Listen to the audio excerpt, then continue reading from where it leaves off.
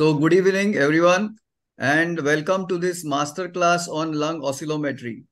So Indian Chest Society has been breaking barriers and breaking records, and you have been through many different webinars.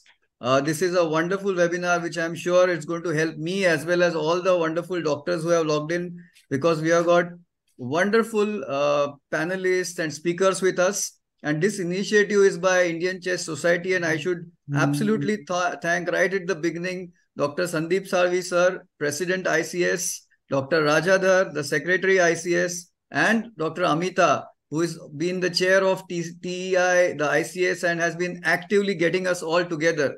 So thank you, wonderful, uh, all of you for uh, initiating this, of course, inviting me to be a part of this, and Lupin for the educational support, for the support of going through the technical work behind the force which goes on for this webinar.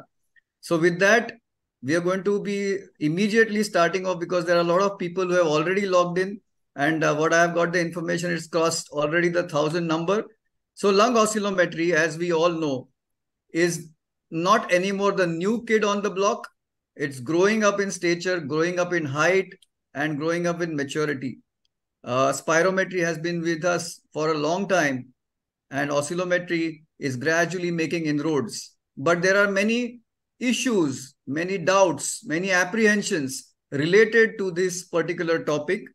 And we have got experts, international expert as well as our own experts who will guide us through these intricacies of interpreting, of applying this knowledge of oscillometry to clinical practice. So with that, I would like to introduce our first speaker. Uh, he's a fantastic orator, fantastic academician. You can see his uh, resume right now. Dr. Lennart, Associate Professor at the Meakins Christie Labs at the McGill University and the Director of Clinical Sciences at Thorasys. Internationally recognized in the pathogenesis of lung diseases I will not read everything, but the most important highlights of extensive publications in peer-reviewed journals uh, for his research, and of course, a PhD in clinical experiment physiology from Sweden. He's a mentor to medical students as well as postgraduates and fellows. He's a member of the American Physiological Society and American Thoracic Society and has served on the conference planning committee for the respiratory structure and function assembly and his present and current research interests are focused on understanding how oscillation mechanics, a very important subject, uh, can be used in the diagnosis of lung diseases as well as monitoring disease progression and effects of intervention. So I'm uh, really happy and it's our pleasure, Dr. Lennart, that you are going to be a part of this uh, seminar, webinar, which is going to help us. We are waiting for your talk to gain more knowledge from you. So welcome, Dr. Lennart, and please, you can proceed with your talk. Thank you. Thank you so much. Uh, it's it's a great, great pleasure and honor to be invited to join you here. Um, and um, let's see if screen sharing will start here.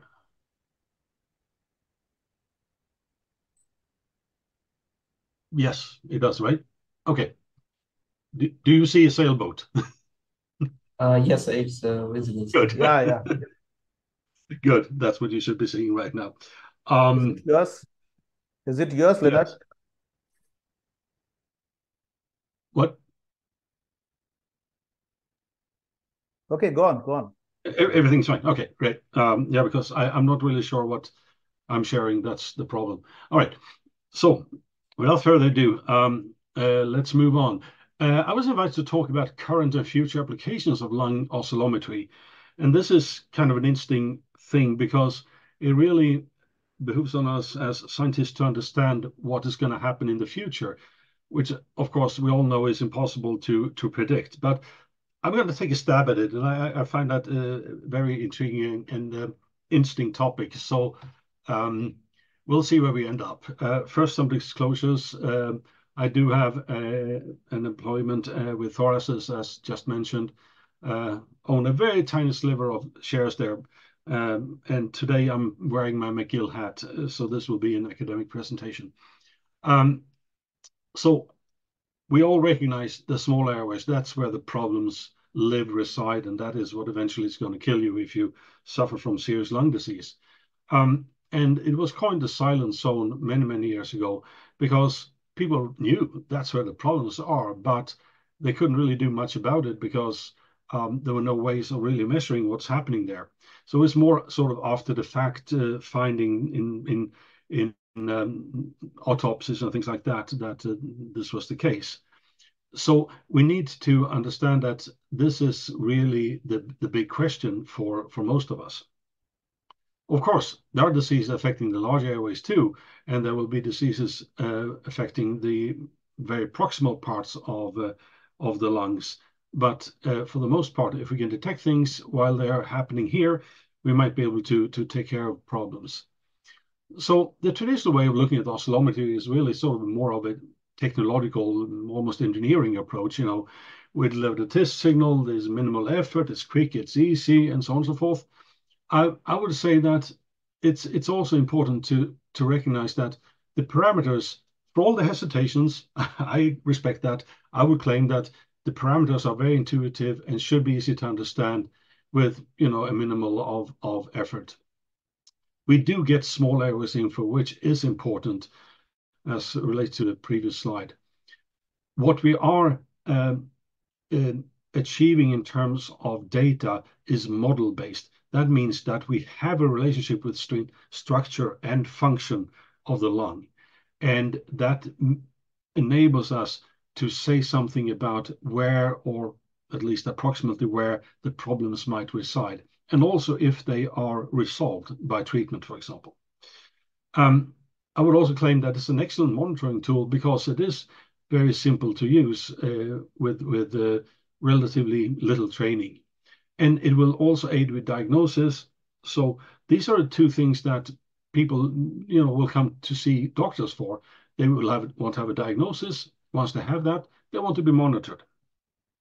So, um, just a quick quick recap here. I'm not going to delve into this in in any detail, but what we are doing with oscillometry is to, essentially test how changes of airway flow and airflow and air volumes are impeded in the airways. It's really how do we move air in and out?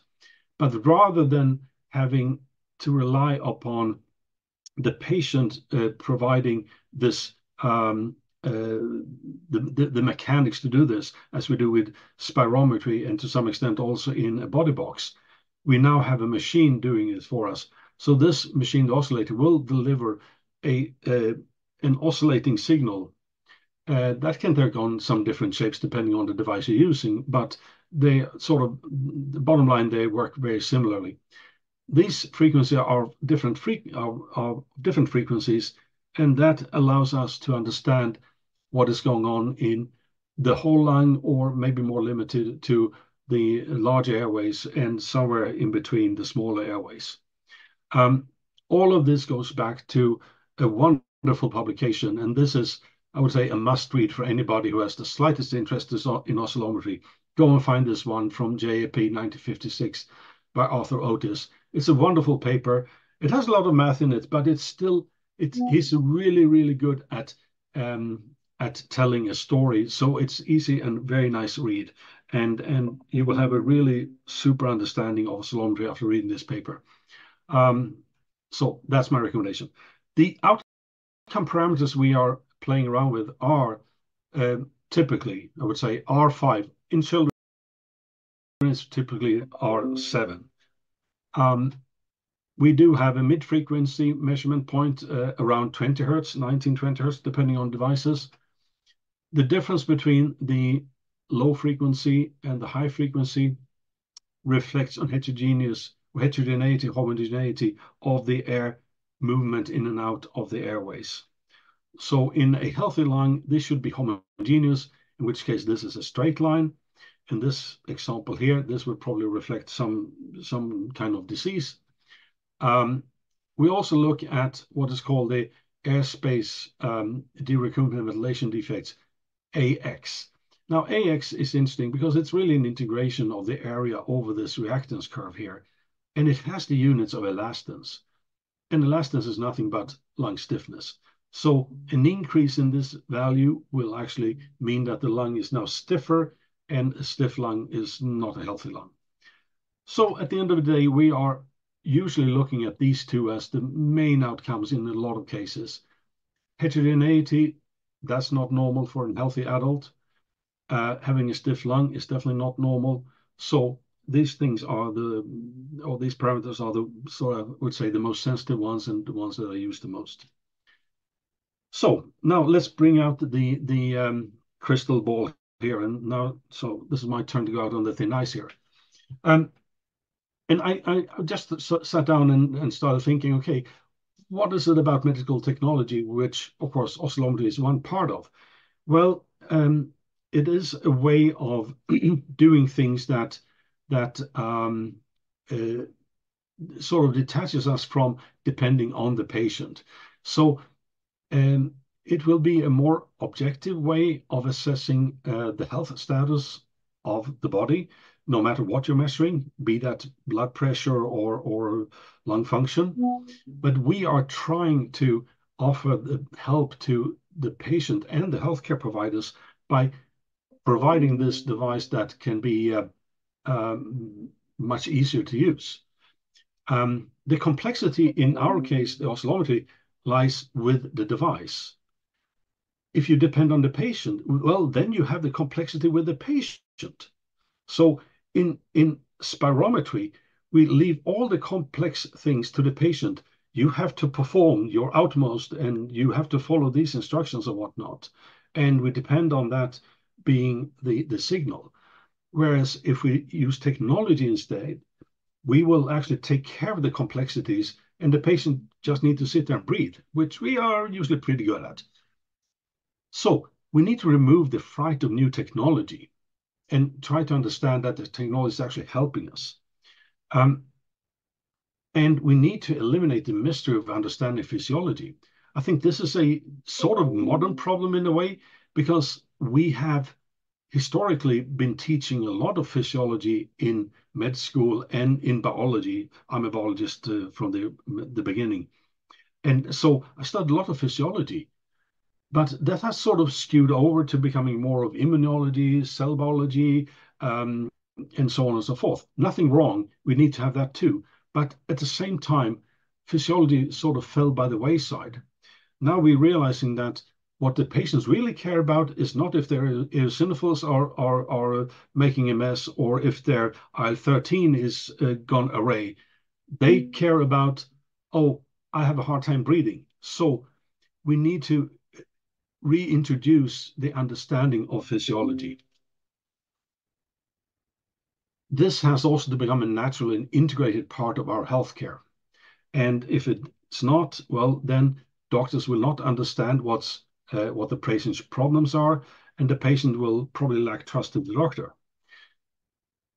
More care, I think, in the future will be de delivered at home. I happened to listen to another webcast the other day, actually, where somebody elaborated on this and saying that, well, in most developed countries um, or countries with a, a, a good healthcare system, we don't want people in the hospitals because it, for, first of all, it's risky to be in hospital. You get sick in hospital, right? But people cost money once they step inside the doors of a hospital. It takes time away from other patients that might need the doctors and the healthcare providers' attention much more than somebody coming in with a whatever simple cough or whatever it is, or just to have a new prescription. So I think more healthcare will be delivered in the home in the future, whether we like it or not. I'm not trying to take away your job, but I think this is in the crystal ball. Um, healthcare will thus be much more of an integrated part of our lives in the future. It is already there with these smart watches and apps we have on our phone, um, keeping track on how many steps we take per day or how far we run, the blood pressure, and so on and so forth. At the end of this, just teasing a bit to Lupin here maybe, I think all this will also help clinical trials. It will make them more effective and more precise. And, and uh, that's also a sort of a, another benefit of uh, what's happening with the medical technology advancements. All right, so now we're going to go into the more specifics about oscillometry here. Why? Well, I already mentioned the small airways disease, of course. I think this will provide an important, a very important piece of the puzzle in, in helping with a good diagnosis. Um, because if if you have a good grip on what is working, not uh, working, you can actually titrate the treatment much more uh, to that particular patient's needs. Remember, we are in an era of more personalized medicine. Bronchodilator test might be a, good way of determining asthma control, which I will touch upon in a moment. Hyperresponsiveness testing is something that in some parts of the world is used extensively, in other parts of the world, not so common. And my impression is that it's not so common in India as it might be in other countries. So this this has more to do with culture than anything else, and uh, you know traditions and such. Um, we need high quality clinical studies, and those have to deliver objective measurements that are not influenced uh, by whomever is doing the, the measurements or the, the doing the tests. So for for the, the industry, this is important so they can uh, tailor their um, clinical studies to their needs and not overdo them in terms of size, yet have high quality uh, data coming out of them. Um, another thing I will touch upon is that we also need at least to start with, try to separate obstructive from restrictive lung diseases uh, as it turns out, that can sometimes be, be somewhat difficult. Um, so this is on the diagnosis side. Look here, monitoring. Well, the monitoring is really what you do most of the time. Diagnosing is something we typically do like once, and and uh, then we know that this patient has asthma, he has COPD, he has cystic fibrosis, whatever it is. Now comes the time to do monitoring. And monitoring, of course, should not be something that takes half a day. It should be something that you can do very quickly and easy and not uh, do the full workup once once more. So I think that's where oscillometry would play a big role. Self-monitoring is something we're going to talk about briefly.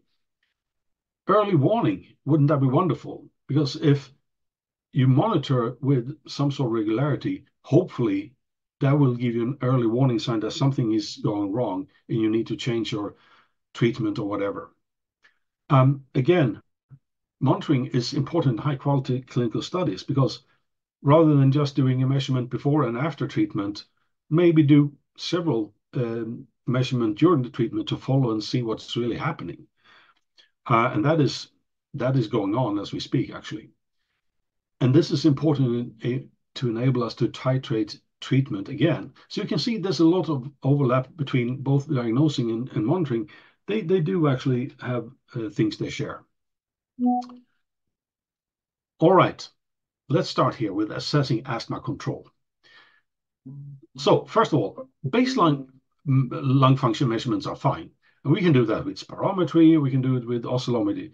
That, that, that doesn't really matter, you know, whatever is working. But now talking about oscillometry, um, if you do that only once, well, you're still left with the question, what's happening in between those half year, you know, uh, seeing the doctor?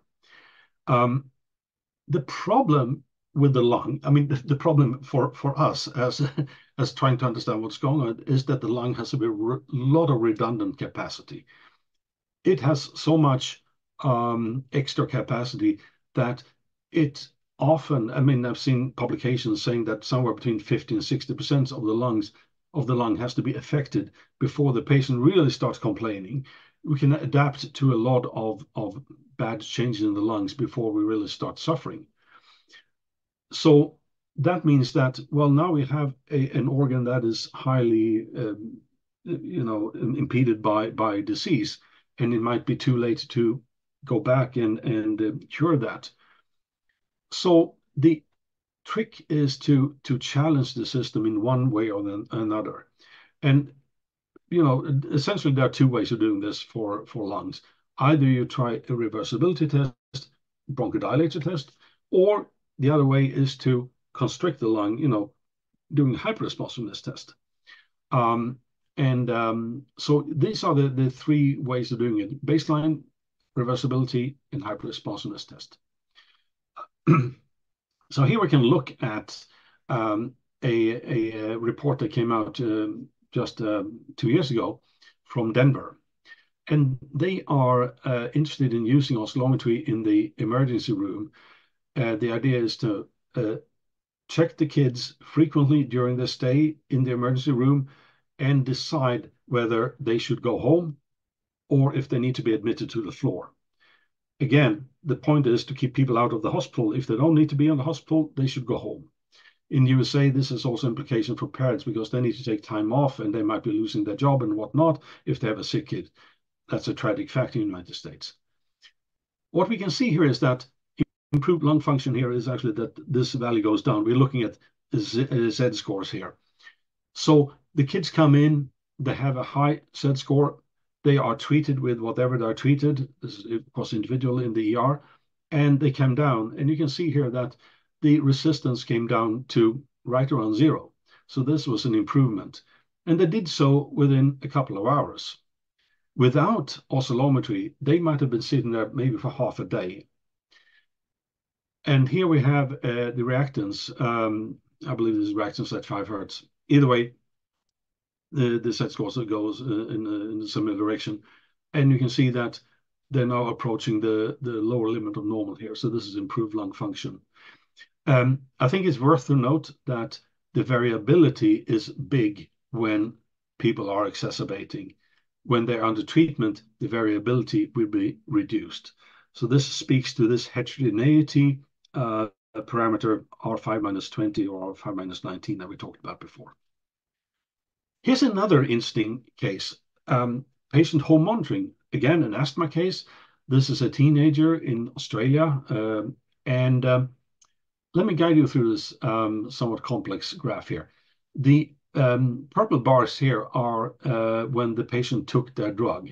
So they had smart inhalers registering when people actually took their drugs. You can see this kid was pretty good at uh, taking his drugs, you know, early on here. Then he started uh, dropping out of that habit. Um, the red dots here are resistance at 5 hertz. Uh, the blue are reactance at 5 hertz. So you can see when the child is taking his drugs with at least some regularity, everything seems to be in control.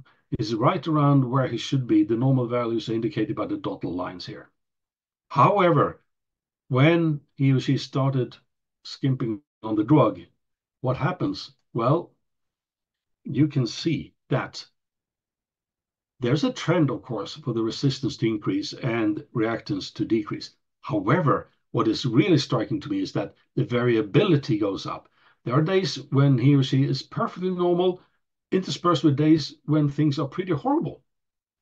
So going from a resistance of about four or so mm. up to 10, that's noticeable for anybody. Eventually, things got so bad, it was called exacerbation. Um, and eventually, the, the doctor reinforced the need to have good adherence to taking your drugs, which should not be, you know, should not be needed to be told, but that's the way it is. I think it's also interesting to notice here that once you've been up here, it is actually pretty hard to come back to a perfectly normal state. You need to stick with your treatment in order to keep this going. So monitoring, which I think this is a good example of, in the home maybe, at least for some severe cases, could be really, really important in the future. Um, reversibility testing, why use that? Well, I think if you are reversible, that means that there's room for improvement. So this is reversibility on top of your regular treatment. It could indicate you had inadequate treatment. Maybe you got the totally wrong drug. Maybe you have something, some type of, of whatever disease that is um, you know, treated optimally. Could just be a simple dose adjustment. You need to increase your dose of steroids. I don't know. Could be just changing, adding uh, some modality. Could be getting rid of the cat or the parrot or whatever keep it, people keep at home. Something that that triggers your allergy. So all of these things are are important to understand. Um, lack of reversibility could actually indicate a permanent or permanent or, or, or fixed obstruction, uh, or maybe even COPD. So reversibility testing is is revealing. some people could start with asthma, but for whatever reason, later on in life, develop a COPD component. So um, it will help with the further sort of added diagnosis. So this is a paper from uh, Australia again. Alice Cottee, the first author, and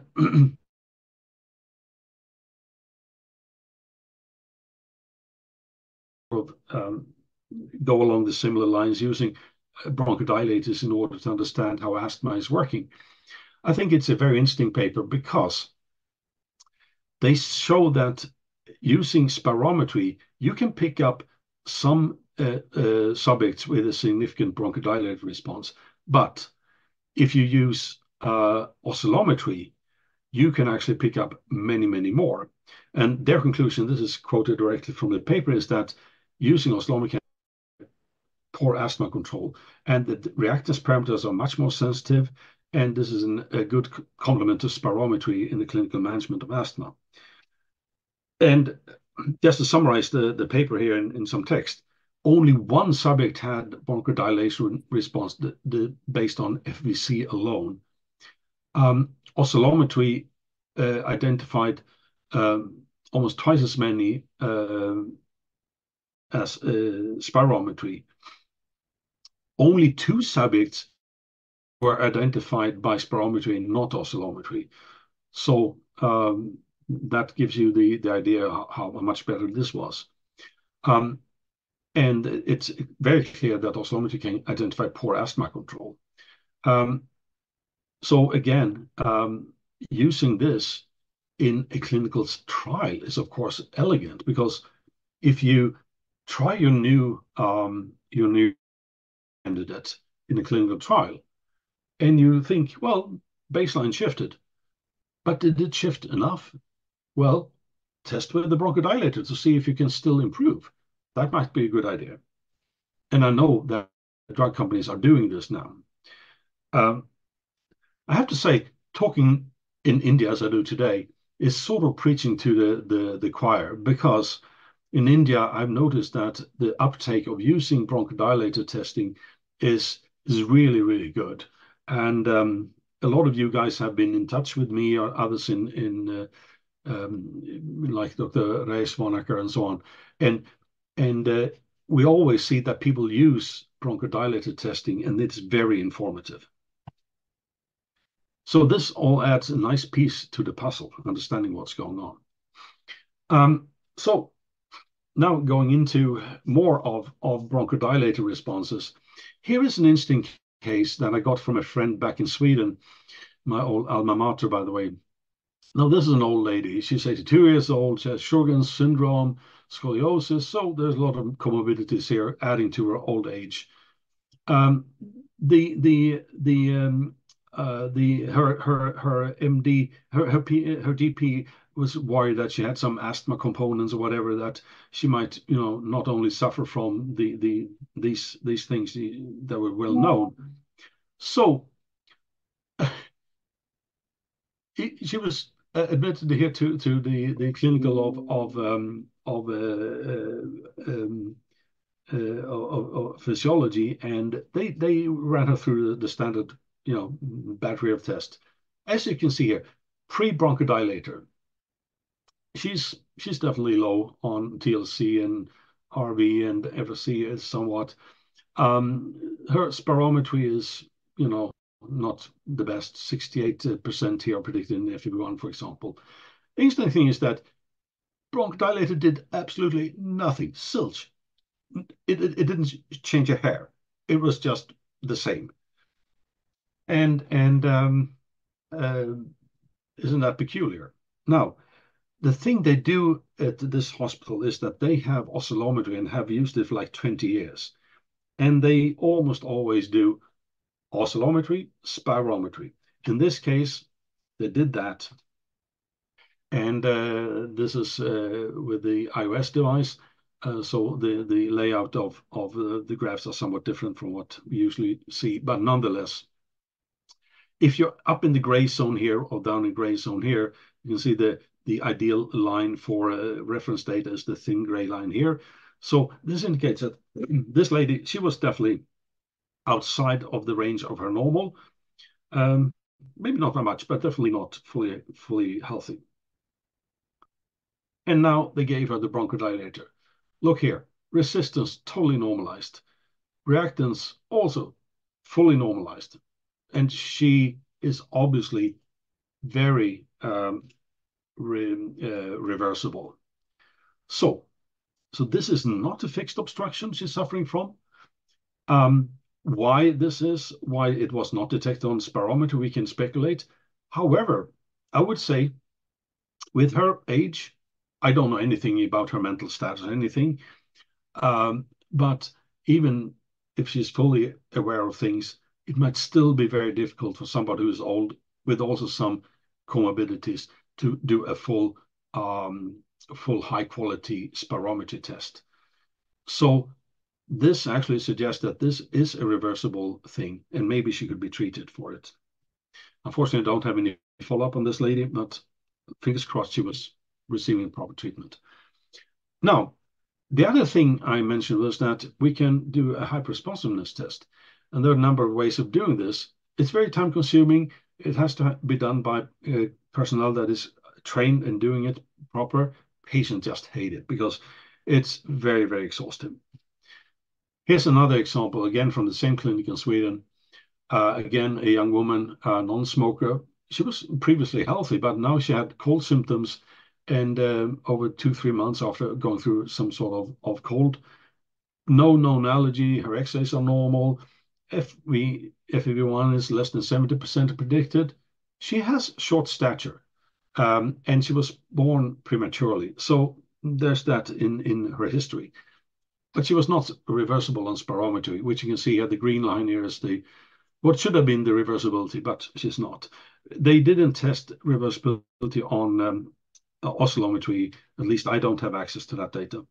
However, they did, and this is something I'm going to come to in a moment here. They did um, a hyperresponsiveness test with methacholine. So what you can see here is the, the response here in percent uh, change from baseline. And here we have methacholine accumulated dose on the x-axis. And we can follow the um, oscillometry here, uh, follow the red line here, and you can see that it crosses right around here. This is the, the 50% increase. This is what is traditionally used as the cutoff for oscillometry. You can see that in um, spirometry down here, the crossing of the standard is right around here. So, uh, and here, just for reference, is a normal uh, normal value from, from normal people. So it appears to me that maybe um, oscillometry is more sensitive than spirometry.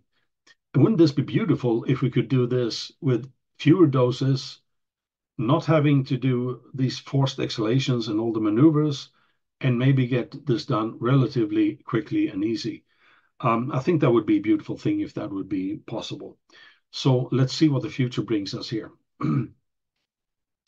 Here's another case. This is a 14-year-old girl, uh, again with uh, allergy history to pollen and furry animals. She had low volumes and spirometry, but again, no reversibility. As we can see here, the green line doesn't, didn't budge. Um, again, what they do, they put her through the hyperresponsiveness test. And again, we can see here that uh, 150, I didn't put in the, the, the line here, but it's crossing somewhere around here. Again, this appears to be at the lower dose than, um, than spirometry. So she was clearly um, hyperresponsive, again, indicating aller allergic asthma. So this is what I would like to come to with all this. And so this is according to me. Well, I'm allowed to speculate because that's what I'm invited to do here. So the patient comes in with a complaint, which at face value might sound like, all right, sounds like an obstructive disease. What would we do? Well, so one thing, one workflow thing one could have is this. You do baseline spirometry, oscillometry, sorry. If it's uh, abnormal, well, then you do a reversibility test. If the reversibility is there, well, that increases the likelihood for putting asthma high on the differential diagnosis. If the reversibility is negative, i.e. no reversibility, well, then you do what they did in Malmo. You do an airway hyperresponsiveness test. If that comes out positive, well, that again puts you in the ballpark of asthma. If that is negative, well, that puts you in the ballpark of COPD or some other cause of obstruction. Um, if the baseline oscillometry is is normal, well, and the patient have all the complaints and the history speaks for, you know, obstructiveness, well, do an AHR test. And if it's positive, again, you end up in the in the asthma corner. If the patient is not hyperresponsive, yet there are complaints that would commensurate with um, a, true lung disease. It's something other, and that requires then further investigation. Um, so this is one idea I had of how we could approach and use these things to our advantage to speed up the the diagnosis. Um, this I just want to share this. This is uh, something I did together with my friend uh, Hammacher in Switzerland in in Bern. Um, he has a big clinic there, and he sees a lot of asthmatics and COPD patients and other things too. By the way, we just extracted from you know some of his his records a, a number of asthma patients and a number of COPD patients. They're all regular patients coming into the clinic clinical follow-up. So it's it's not a clinical study that is well controlled, really. So it's really a an excerpt of what you can find in his clinic. Uh, they all had clear diagnosis of asthma or clear diagnosis of COPD. That's the only thing we went for. He also has the routine of doing bronchodilator testing. And you can see the asthmatics, they dilated here the resistance went down uh, for R5, not so much for R20. Um, AX also decreased. Look at the COPDers. Nothing happens. Almost nothing happens. So um, this sort of gives fuel to my my hypothesis that one can use reversibility testing as one tool in order to separate out these. Um, now, I'm just a couple of slides away from my end here, and so I'll just point to the um, um, the clinical studies that can be done with high uh, quality. So this is an example from uh, that was published a couple of years ago, where uh, they used a extra fine formulation of uh, of uh, BDP and fluticasone inhaler on asthma, and it's shown that R520 diminished by a lot, X5 uh, um, changed positively and AX as well. And this was commensurate with a FeNO change as well after one month of treatment. Um, and it's all depicted in this nice graph here. I think this is the cool one that I picked up at ERS this year, where they have this uh, combined uh, TSLP, which is a, um, uh, signaling um, alarming molecule uh, related to type 2 uh, asthma, and IL-13, again, the same thing. A small study, 36 subjects, rapid improvement with single dose. It lasted for 57 days, and they concluded oscillometer resistance at heterogeneity and reactance area, the stiffness of lung, um, was consistent with improvement in small airway dysfunction. And of course, it wouldn't be me sitting at a room there if I didn't take a photo of the presentation. So we can look here at the dotted line here. This is the improvement R5 minus 20. So heterogeneity went down significantly and stayed down for 57 days. And here we can look at the, the, the elastance, same thing, a good improvement. All right. The last thing I would like to highlight, how good are we at interpreting data? Could artificial intelligence do it better? Do we need anything beyond oscillometry in the future? Well, so this is again from ERS, and this was shared to me by Dr. TC in, uh, from Toronto. They had a, a machine learning algorithm. They fed in uh, um, uh, the, the, the algorithm with a lot of reference data, taught the machine to identify normal, restrictive, obstructive, and a mixed uh, uh, obstructive restrictive disease. And all this was done by, by standard um, uh, ATS-ERS guidelines. Then they submitted to a number of experts uh, in oscillometry to look at oscillometry data only. and then I was actually one of the the the experts, so say here, and and we were asked to grade the patients we saw in these four categories. I would say we were pretty good nailing down the normals, although not perfect, whereas AI nailed them 100%. Uh, we failed pretty miserably in separating restriction, obstruction, and oh, forget about the mixed profile. We were really bad at that. Not that the AI was really good either, but the total difference between AI and the expert was still in favor of AI. And you have to remember, this is an abstract, it's a small sample. Um, you know, the first baby steps in this. I think this is actually future. We will probably have something like this coming out in the future where we have AI taking care of, uh, of a lot of uh, these, these things for us. So I think we need to move from the COSA state of the art. It's actually not that we need. We will be moved from the COSA state of the art. this is nothing we can really do anything about. Uh, technology will come whether we like it or not. Keeping the patient out of the hospital is something that all uh, healthcare providers will love. Spirometry is probably failing patients and doctors. Um, I think monitoring is key for good care and good research. Um, and uh, this will um, end with AI taking over a lot of our job um, and help us guide us in the future. Um, and this will also help with um, combining all of these things with home applications, and this will free up resources so we can spend our money on something else in the future. So thank you very much. Finally, a little plug for a book that's coming out anytime soon that uh, I was happy to contribute to. Okay, thank you, Dr. Lennart. As usual, it's always fantastic to hear to you, and uh, you have told us what oscillometry can do now, and a peep into the future. That if you combine oscillometry with AI and other tools that are coming up, it would be really basically a wonderful tool to assess uh, the obstructive disease and then also ILDs in also future. So thank you for the talk. Thank you for a lucid talk, which was illustrative. You also explained with the cases and that really drove down uh, the objective of the of your talk. Thank you, thank you, Dr. Lennart. And it is also a pleasant opportunity to introduce my friend Dr. Salil Bendre, who's who's actually a dynamic person.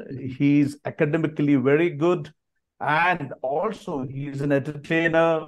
Uh, most of you who have seen him closely uh, must have seen him as basically magician. Uh, I think a very good singer. I have seen him also a lot of mimicry.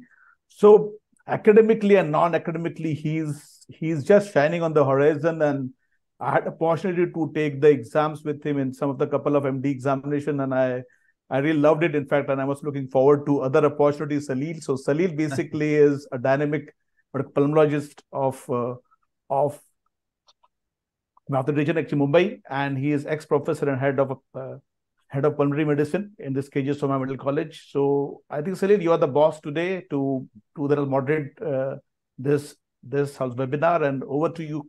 Thank you, uh, thank you. Move on. Thank you, thank you. That was that made the mood a little lighter, but thank you for that introduction. So uh, uh, after that wonderful talk of Dr. Lennart, we will proceed to Dr. Sandeep Salvi. Uh, I actually don't need to introduce him because everyone, all the pulmonologists from India as well as abroad know him very well. But just to make matters more specific and more easy, he is of course going to be telling us the tricks and the trade or how to manage and few of the uh, you know pointers for understanding oscillometry. Uh, he is the president of Indian Chest Society, member the board of directors, Gold, member scientific committee, GINA, chair of the Chronic Respiratory Disease Section, Global Burden Disease India, a member of the Steering Committee on Air, Air Pollution Health, the Ministry of Health and Welfare, Government of India, published so many papers, peer-reviewed journals, and the best, and I would say the most uh, prestigious for all our countrymen, ranked number one respiratory scientist in India by the Stanford University ranking 2023 the previous year and number 52 in the world out of 60,472 global respiratory scientists. So he's the director presently of the Pulmocare Research Education, that is the Pure Foundation in Pune, and he's doing really wonderful work and helping us understand uh, about not only oscillometry but respiratory physiology. His lectures are always a super hit. When he comes and gives talks, we are all eager to learn from him. So with that, I hand over the uh, the, the the the stage to Dr. Salvi sir, and please he can proceed. Thank you so much. Thank you, thank you so much, Dr. Bendre, for those very kind words of welcome and introduction. It is a real pleasure to to be present for this uh, very fascinating webinar on oscillometry. I bring to you greetings from the Indian Chest Society as the president, and I hope that you have been enjoying uh, the webinar series that we have been conducting on obstructive airway diseases.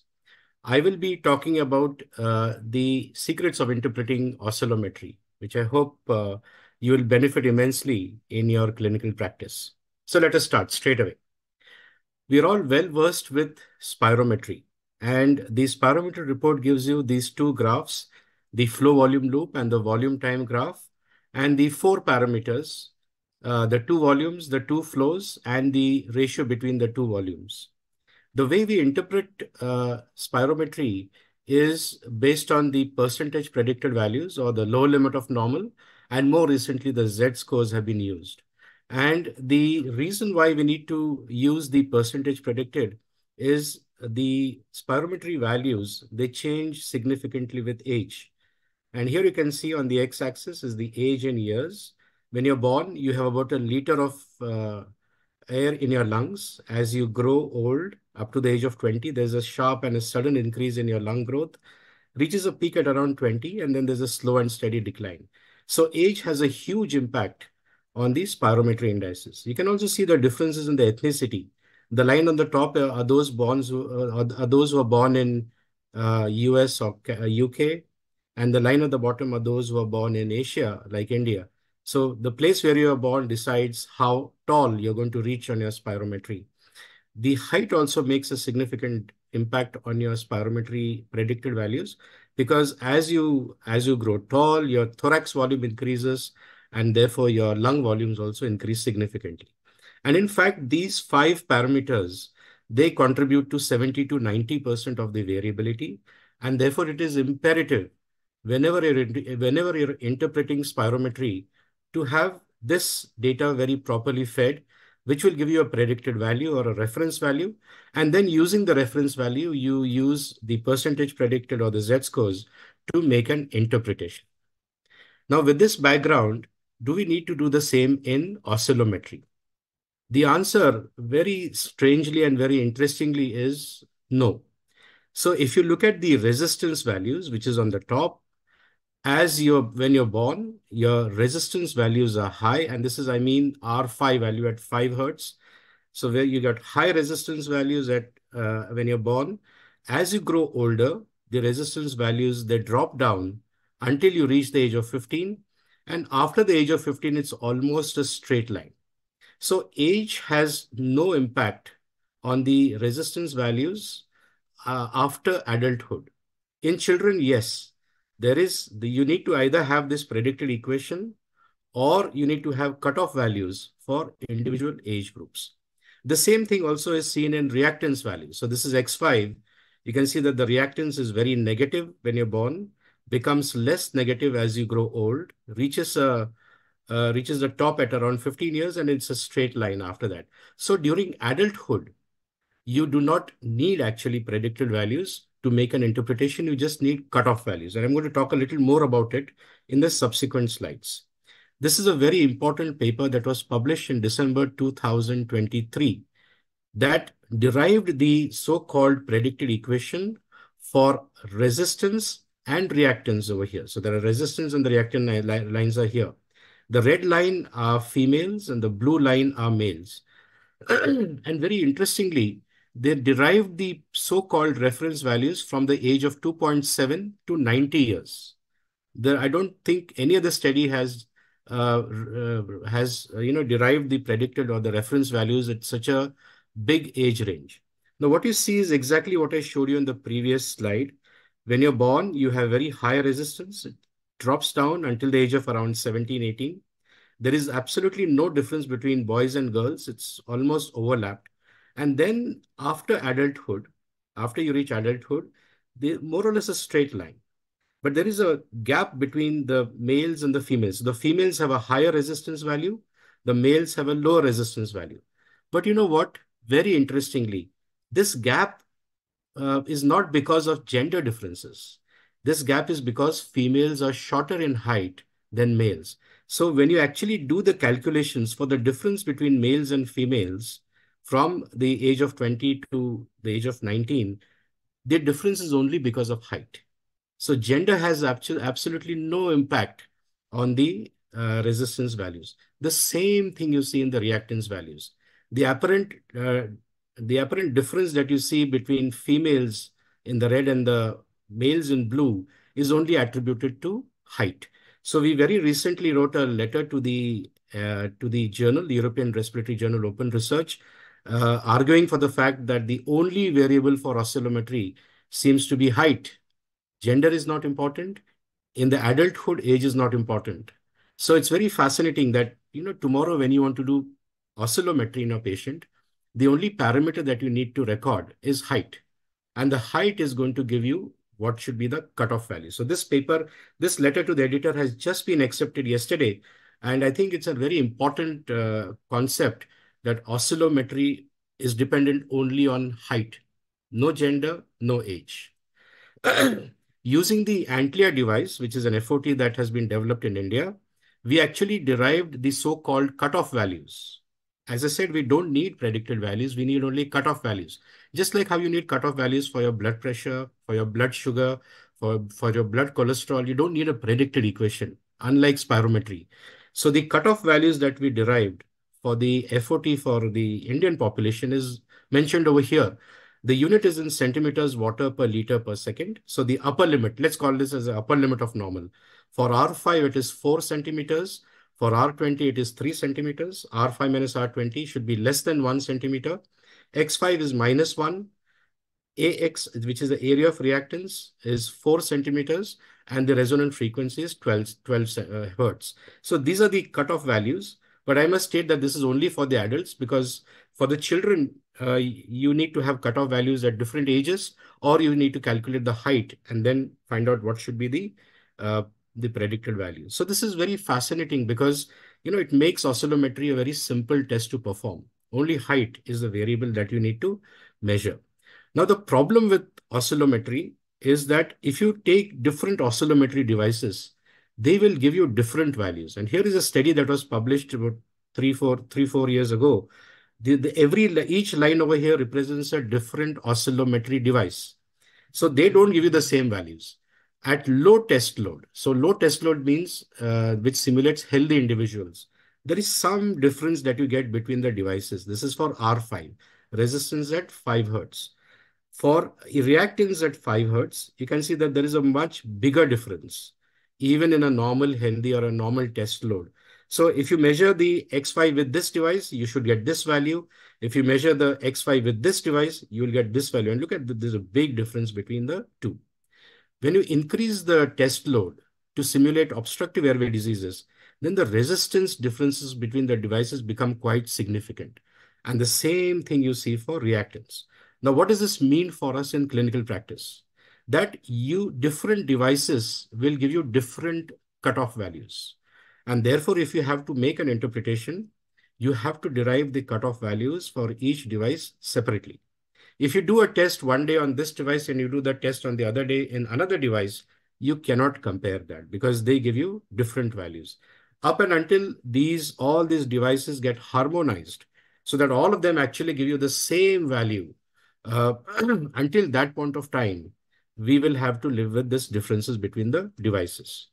Now, for children, as I said, the uh, when you're when you're three years old, the resistance is very high. It reduces as you grow old. So these are these sort of values that I have obtained from a from a publication.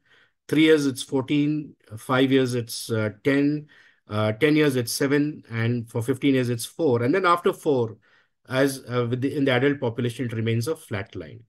The same thing happens with reactance in children. So in a three-year-old child, the normal X5 value is minus 5. In a five-year-old, it's minus 3. 10-year-old, it's minus 2. 15-year-old, it's minus 1, and then it's a flat line after that. Resonant frequency in children is very high, up to 30 hertz. And as you age, the resonant frequency drops down, and in the adulthood, it's about 8 to 12. So the only the only point I wanted to make was in children, you need to have cutoff values for different ages or for different heights.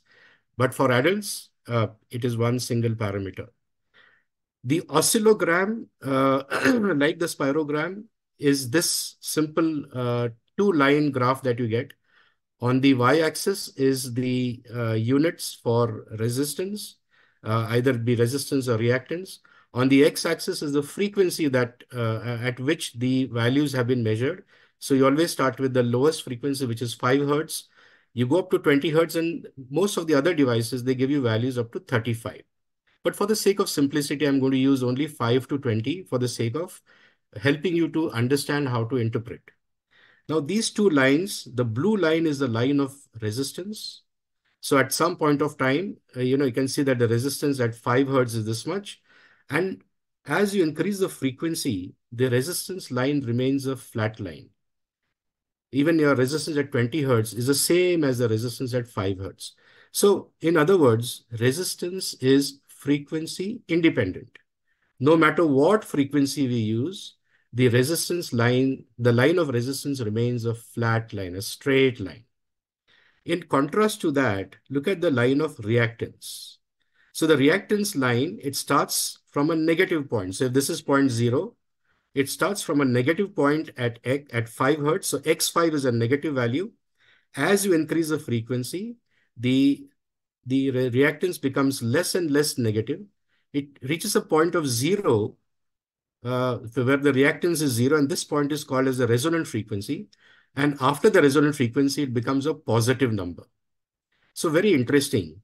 The the portion of the reactance before the resistance, before the before the uh, re resonant frequency is your elastance, and after the resonant frequency is your inertance. The triangular portion that we get from 5 hertz to the resonant frequency, this triangular portion is called as area of reactance or AX. So these are the parameters that you need to understand in oscillometry. For spirometry, we have FEV1, FVC, peak flow, and the FEF 25 to 75. In oscillometry, we have R5, we have R20. The difference between the R5 and the R20, then you have X5, you have resonant frequency, and then you have the area of reactance. As simple as that. So here are these parameters. The R5 or the resistance at 5 hertz, this point, here, this point here, it tells you the total respiratory resistance. The R20, this point, gives you information about resistance in the large airways. And R5 minus R20 gives you resistance in the small airways. So your resistance values tell you about the three different components. So total airway resistance, resistance in the large airways, resistance in the small airways using these three different resistance parameters. Then you have the resonant frequency where the reactance is zero. Then you have the X5, which is the reactance at 5 hertz, which is a negative number. And then this area of uh, reactance, which is a triangular portion.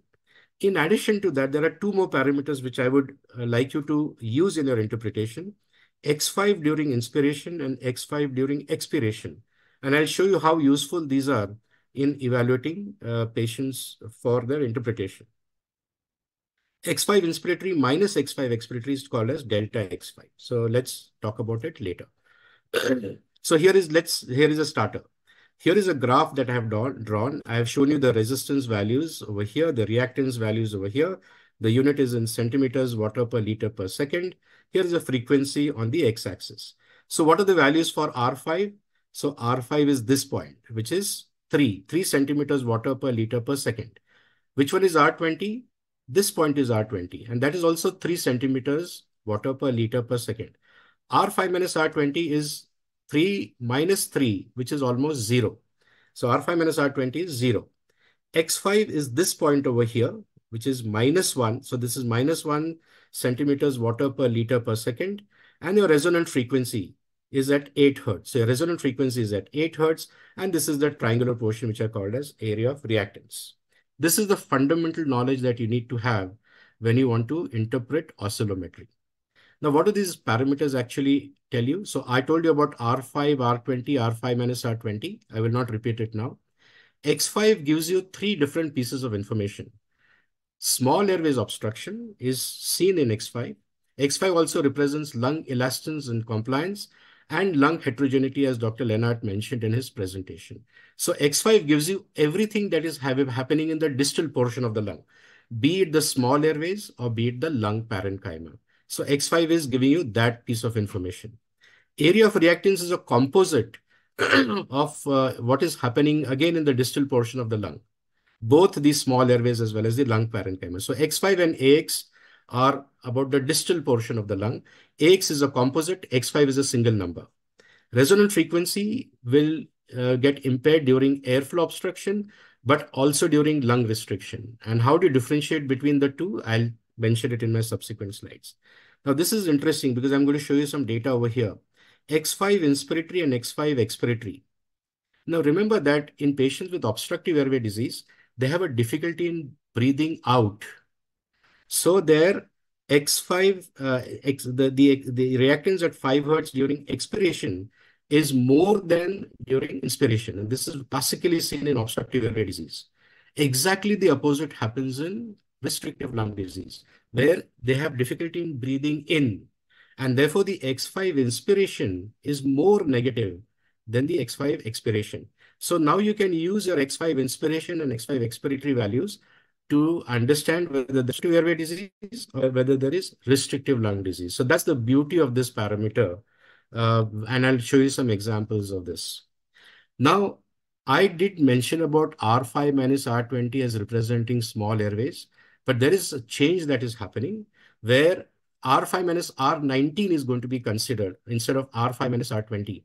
And the answer is why are we using R5 minus R20 and not R5 minus R20 is because of harmonic uh, distortions. 5 hertz is going to affect 10, 15, 20 because of the harmonics. And therefore, whatever is happening at 5 hertz will get impacted in the 20 hertz also. And therefore, you there will be distortions at the 20 hertz and you'll get wrong values. So you use numbers such as prime numbers which cannot be divided, there'll be no harmonics. So R5 is a prime number, 19 is a prime number, and therefore you will get more cleaner signal about the small airways if you use R5 minus R20, R19. Now, although this is the correct parameter to be uh, used for interpretation, for the sake of simplicity, I will use R5 minus R20 for my subsequent slides. Now, here is a classical graph that you get in asthma. This blue dotted line is the line of a normal healthy individual. And this green dotted line is the line of reactance of a normal healthy individual. Now, I told you that in a normal healthy individual, the upper limit of normal for R5 is 4, 4 centimeters water per liter per second. For R20 is 3, and therefore R5 minus R20 should be less than 1. Now, see what has happened in a patient with asthma the R5 value compared to that of a normal healthy individual has increased. So this is pre-bronchodilator increase in R5. What has happened to the R20 value compared to that of a normal healthy individual? R20 is also increased. And the R5 minus R20, which is the gap between this point and this point, this point is also increased. So in asthma, you will find increase in R5, you will find increase in R20, and you'll find increase in R5 minus R20. After giving a bronchodilator, the R5 value reduces, doesn't come back to normal, or it may come back to normal. the R20 value comes back to normal after, after giving a bronchodilator. So this is the bronchodilator response that you get in the resistance values in an asthma patient. Now this green dotted line, as I said, is the resonant frequency, so is the line of reactance. This point is the resonant frequency. So see what has happened to the X5 value in an asthmatic patient. Compared to a normal healthy individual, it has become more negative. The resonant frequency in the normal healthy individual is this. This is the resonant frequency in an asthmatic. So you can see that the resonant frequency has shifted to the right. There is a more negative X5 value. The resonant frequency is shifted to the right. And therefore, this triangular portion, which is AX, becomes big in size. After giving a bronchodilator, you can see that the X5 value becomes less negative. From here pre-bronchodilator to post-bronchodilator, which is here. the resonant frequency shifts from here to the left. So there is a shift in the left after a bronchodilator in resonant frequency. And this triangular portion after a bronchodilator becomes smaller than the pre-bronchodilator value. So this is what you classically get in a patient with asthma. Now see what you get in a patient with COPD. Again, line of resistance in a normal healthy individual. R5 is significantly increased. It increases a lot more than what you find in asthma.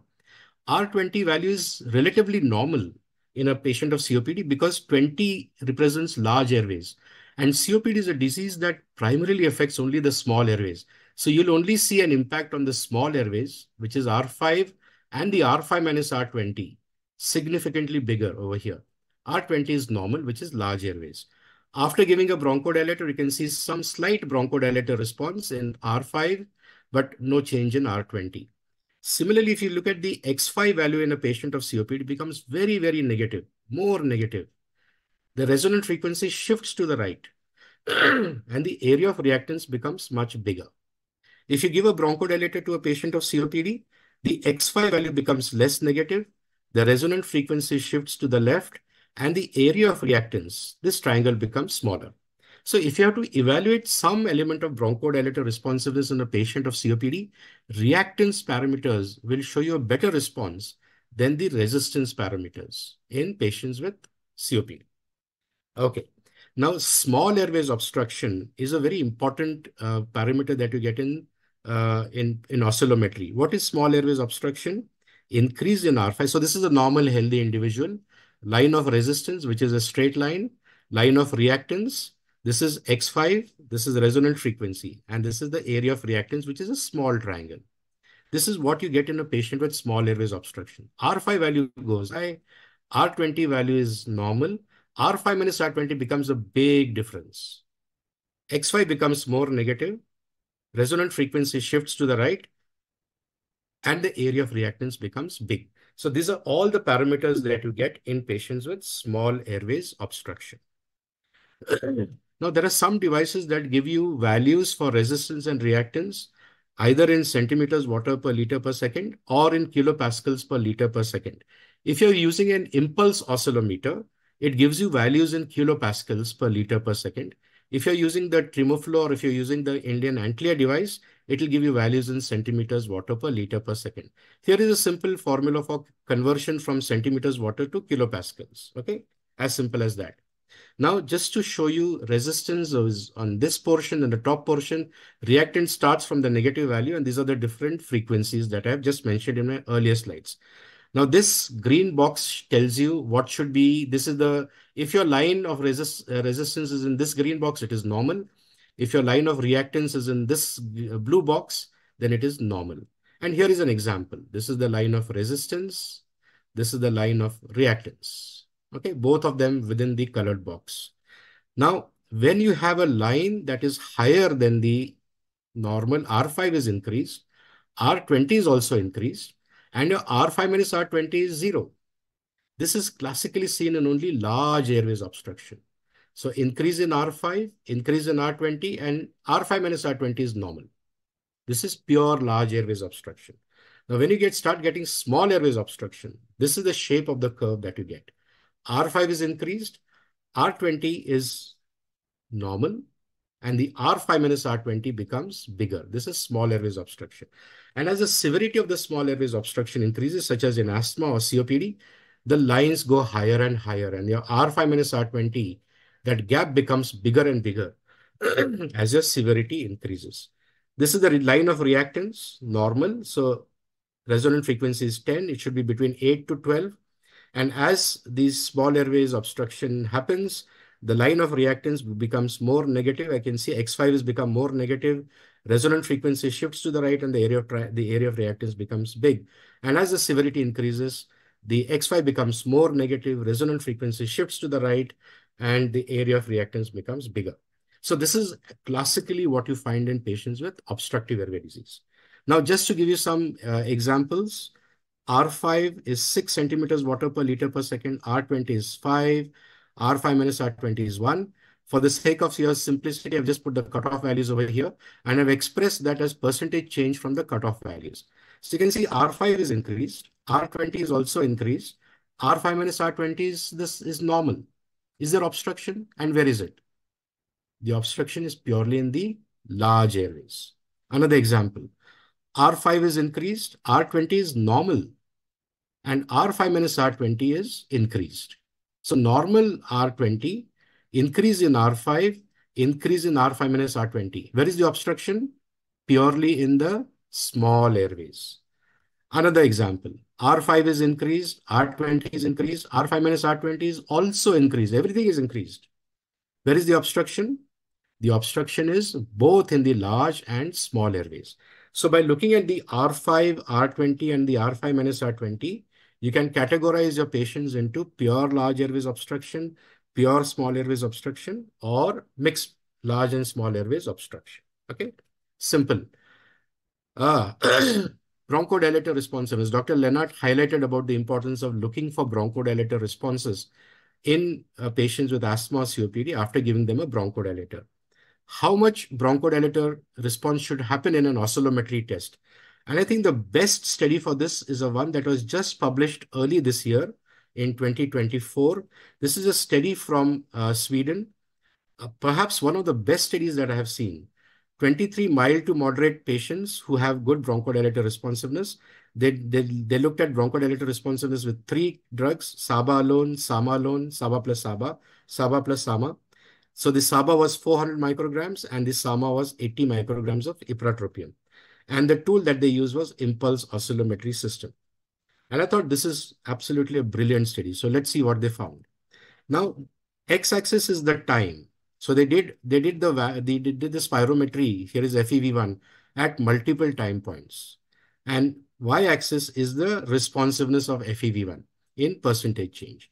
So after giving a bronchodilator, focus on this green line over here.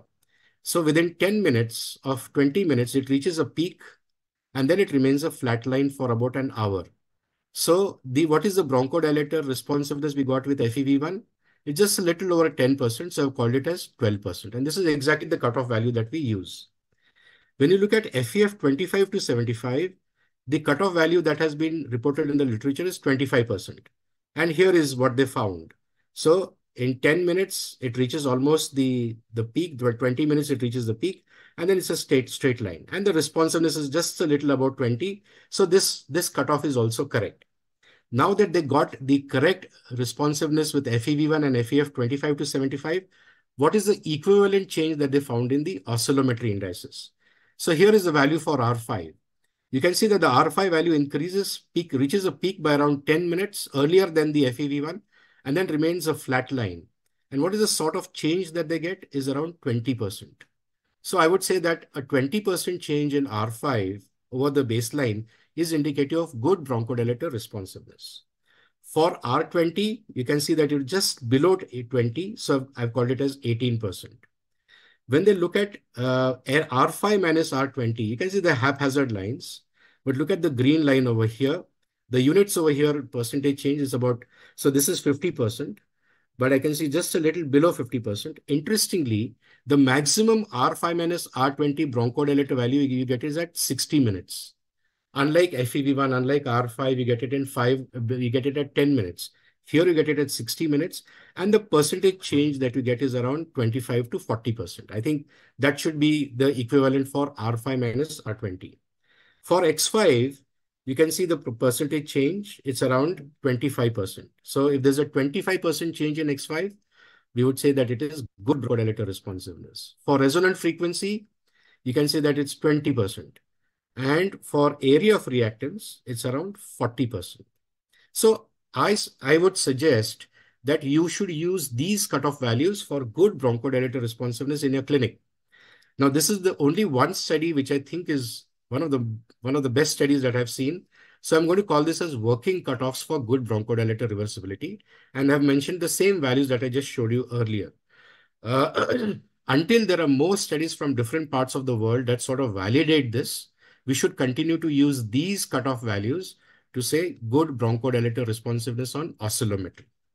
Now, very, very, very quickly, examples of a three-year-old boy who suffered with asthma, had three hospitalizations for probably as asthma in the last one year. The parents were refusing to accept the diagnosis of asthma because they, they went and met Dr. Google and the Google told them that the child may not necessarily have asthma. So they did doctor shopping until they came to our place. Now, this is a report for resistance and reactance. You can see here, this is kilopascals per liter per second. So this is a test that we did on the impulse oscillometry. Blue is pre-bronchodilator, uh, red is post-bronchodilator. I have converted the kilopascals into centimeters water by multiplying it by 10.197. Now look at the shape of these curves, pre-bronchodilator, post-bronchodilator. This is reactance, pre-bronchodilator. So you can see the resonant frequency is almost 35 over here. The X5 is 0.8, I mean, so this is 8 point, uh, sorry, minus 8.15. And look at the bronchodilator response. So the resonant frequency has shifted, the area of reactance has become smaller. Here are the numbers. So if you want to believe in the numbers, here are the numbers. I think anybody who sees this will say that this is a classical case of asthma in a three-year-old child. Can you, can you imagine doing a spirometry in a three-year-old child? It's not easy at all. In this child, we did oscillometry and the parents, they, we showed them the graph we showed them the values and the parents were, were then convinced that the child has asthma. The child started being put on inhaled corticosteroids and the child is now perfectly fine. But look at, look at the value of oscillometry in diagnosing pediatric asthma. This is an adult individual, 48-year-old female professional singer, cough with nighttime awakenings, spirometry, pre-bronchodilator, post-bronchodilator. This is the flow volume loop, volume time graph. You can see that the bronchodilator responsiveness is not much, only 7% and 120 ml. Cutoff value is 12% and 200 ml. But look at the changes that we got on oscillometry. Pre-bronchodilator, post-bronchodilator, pre-bronchodilator for reactants and pre-post bronchodilator for reactants. So here are the values. So what should be the normal R5 for a healthy adult? Should be 4, isn't it? This is 9.6, so it's significantly increased. Reduced to 5.9 after giving a bronchodilator. This is surely more than 20% drop. R20 is also reduced. R5 minus R20, look at this. 3.2. Upper limit of normal is 1. So this is a threefold increase in the small airways. So this is small airway dysfunction related asthma. After giving a bronchodilator, it reduced by almost 50%. Fits into the bronchodilator responsiveness. Look at X5. Minus 3. Cutoff value is minus 1. So threefold increase in X5. Reduced to almost 50%. Area of reactance, which should have been 4, is now 41. And after giving a bronchodilator, reduces resonant frequency is reduced from 30 to 20. Classical case of bronchial asthma, predominantly small airways dysfunction. So spirometry did not pick it up, but oscillometry did. Now, these are two very interesting examples, and this is done on a uh, on, on, on another. Uh, this is the Tremoflo device, resistance on the top, reactance at the bottom, pre-bronchodilator, post-bronchodilator, pre-bronchodilator, post-bronchodilator. Here are the values. So I put the cutoff values over here. So R5 is increased, R20 is increased, R5 minus R20 is increased, X5 is fivefold gone down. Uh, area of reactance is huge. Resonant frequency shifted to the right. What is the diagnosis? R5 is increased, R20 is increased. R5 minus R20 is almost fourfold increase. So R20 is not as much increase as R5 and R, R5 minus R20. So this is Classically, this seems to be obstructive airway disease, COPD type, because there is poor bronchodilator responsiveness, as you can see here. Another case over here, resistance is, uh, you can see the resistance is around 5, which is increased. After giving a bronchodilator, there's no change. R5 minus R20, there seems to be some increase over here. But no, but you can see it's almost normal over here. Reactance lines, well, slightly reduced, no change after a bronchodilator, but your resonant frequency is increased to 25. Almost you can see 24 over here. So what is the diagnosis in this case? now here the X5 inspiratory and X5 expiratory is going to give you the clue. X5 inspiratory is minus 4.8, X5 expiratory is minus 6.5. X5 expiratory is more negative than X5 inspiratory. So this is obstructive airway disease, COPD. Now look at this one. X5 inspiratory is minus 3.3, X5 expiratory is minus 1.28. So the X5 inspiratory is more negative than the X5 expiratory. What is this? So what does this tell you? Restrictive lung disease. So this is COPD and this is interstitial lung disease, classical cases that I've showed you over here. Now, can you tell me what, what is this? So R5 is increased, poor bronchodilator response. R20 seems to be almost normal, close to normal. And there is an increase in R5 minus R20. X5 has gone significantly down. Uh, resonant frequency is shifted to more than 35 and look at the area of reactance. My God, that's huge. And after giving a bronchodilator, there is absolutely no change. So what is your diagnosis? Let me show you a chest x-ray for that.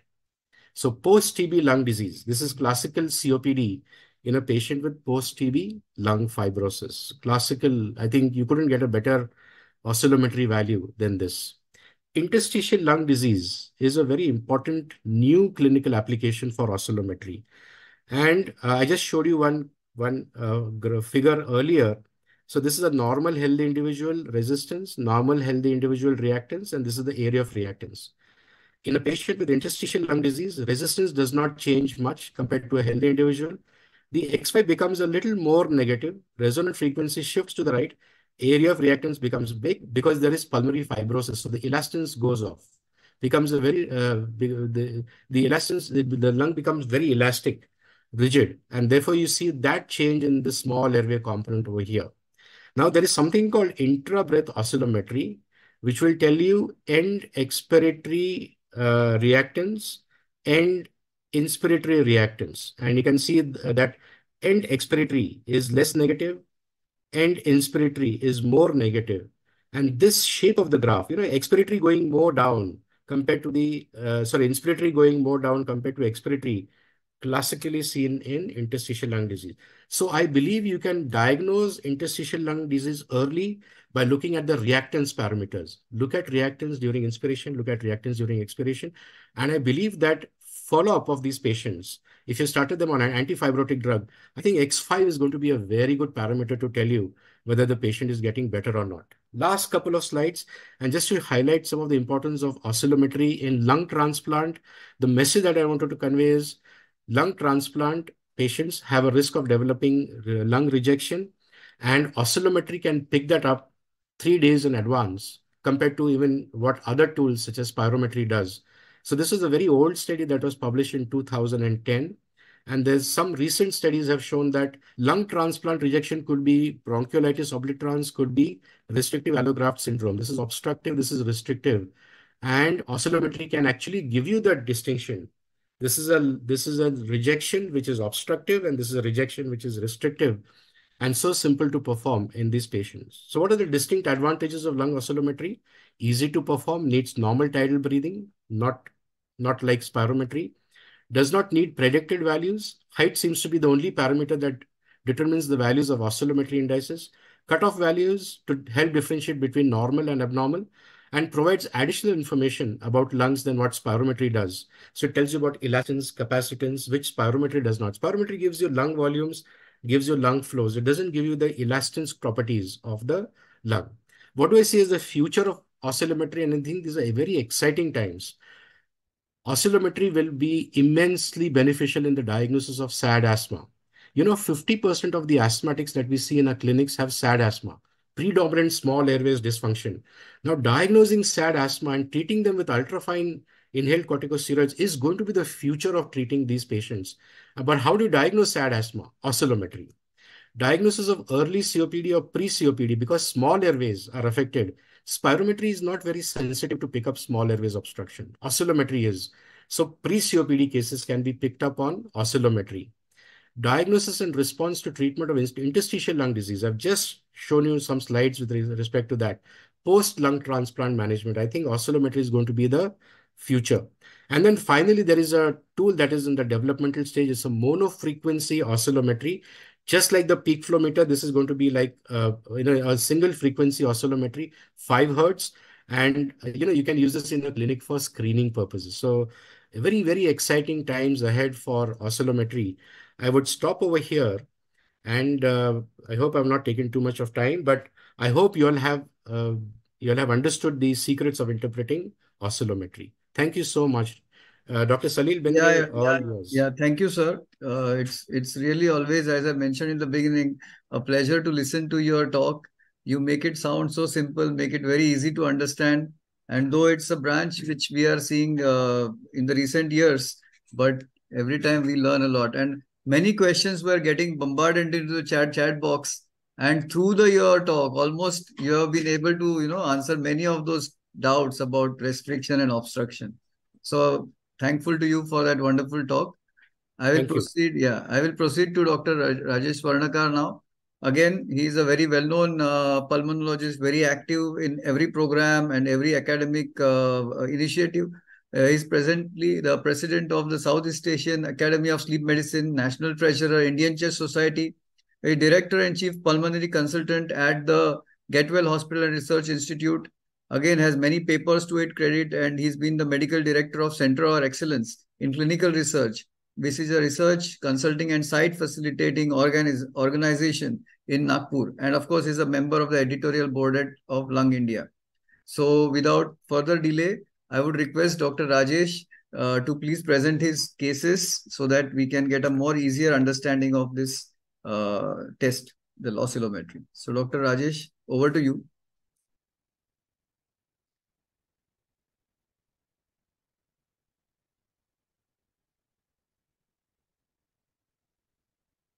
Aditi, you would be putting on the recording? Uh, yes, yes, sir, we are uh, we are playing the recording. Just one minute. I'm just sharing the screen. Yeah, yeah, yeah.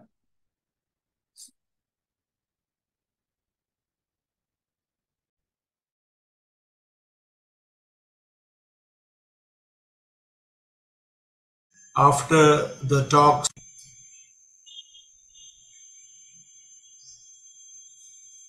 Hello, everybody. And after the talks of two stalwarts, Dr. Leonard and Dr. Salvi, who have now set the stage uh, for further discussion on oscillometry, and it is seen that everybody wants uh, to interpret oscillometry and to learn how to do it. So, my job today is to bring to you some very simple case illustration for actually the beginners who have started doing oscillometry to understand uh, how you can imply this oscillometry how you can do oscillometry in your daily practice. So let me share my presentation and here we go. So uh, some cases that I have selected from my own actually daily practice and before we see the cases uh, it's often that I or we get asked that how to really begin doing oscillometry in a daily practice. So, which are the cases that would actually benefit from doing oscillometry? So, very simple. You can, if you've got a periodic practice, then very young patients, the old patients, the physically challenged patients, and others who are not able to perform the forced expiratory maneuver that is required to get good result in spirometry. These are the patients, and these are about 20% of the patient established that about 20% of patients will not be able to do, uh, do spirometry. So these are your straight cases in which you can try and do oscillometry in those patients. Then you know that spirometry has got 29 contraindications uh, while there are none for doing oscillometry. So in patients on whom there is this contraindication of doing it like recent cardiac events, recent pneumothorax, thromboembolism, uh, you can do spirometry because it doesn't cause any stress uh, to any of your system. And in fact, it is said that anyone who can breathe can do the oscillometry. Another is if you have a patient and if you are having the history and suspecting that he may be having obstructing AV disease, uh, but you find that or despite you have done actually good spirometry, it is coming normal. So it is basically a worthwhile exercise uh, to do oscillometry in these patients and to see if there is an obstruction as per the history that you have elucidated. Because a spirometry, if you do actually, oscillometry is much more sensitive than spirometry in, in detecting these cases. Another cases that you would see subsequently is when you do a spirometry, there is obstruction, but we don't know where the obstruction is there, whether it is central obstruction or if there is a peripheral small airway disease.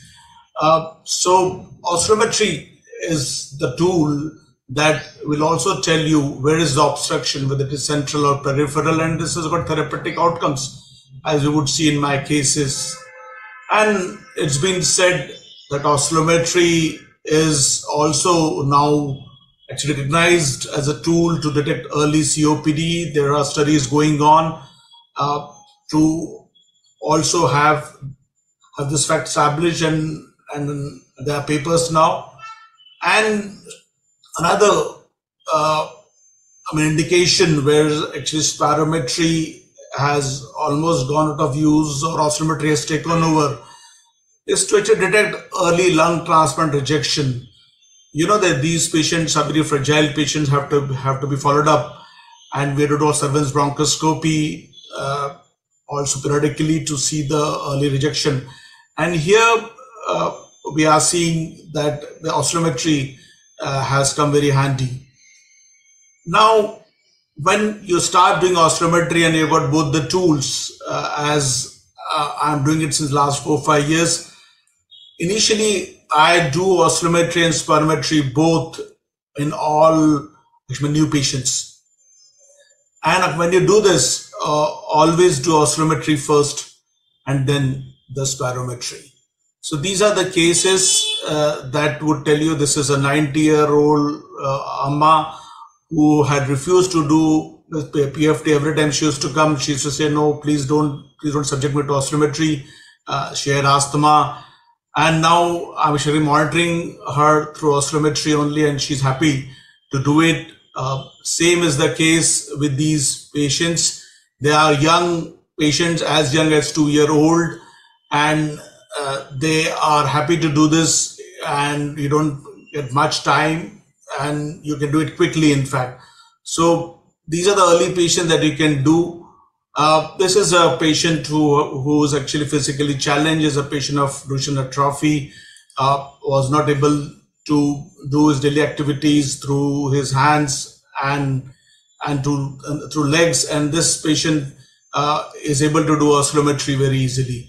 So these are the initial patient that you can basically deploy oscillometry uh, for treating various obstructive disease or conditions. So let's begin with a very simple case. As I said, that spirometry, uh, uh, service oscillometry is not at all very sensitive tool. So you get cases in which there is normal spirometry and abnormal oscillometry. So this is a patient who had clear history of obstructive disease, had wheeze, history of wheeze, uh, has also nasal allergy, nasal block, all those symptoms of allergy bronchial asthma but uh, his uh, this uh, PFT came actually normal and the spirometry came normal.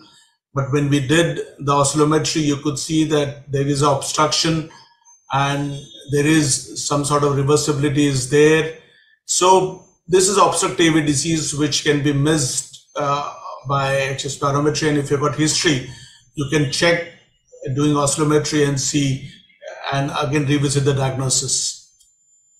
Another case, this is an excellent demonstration of asthma's reversibility as uh, we as know that oscillometry is more sensitive than spirometry to show reversibility or even bronchoprovocation in the same dose which is used for spirometry. So this case illustrates that we do, there is obstruction. This is a case of asthma and we do the reversibility test after bronchodilation.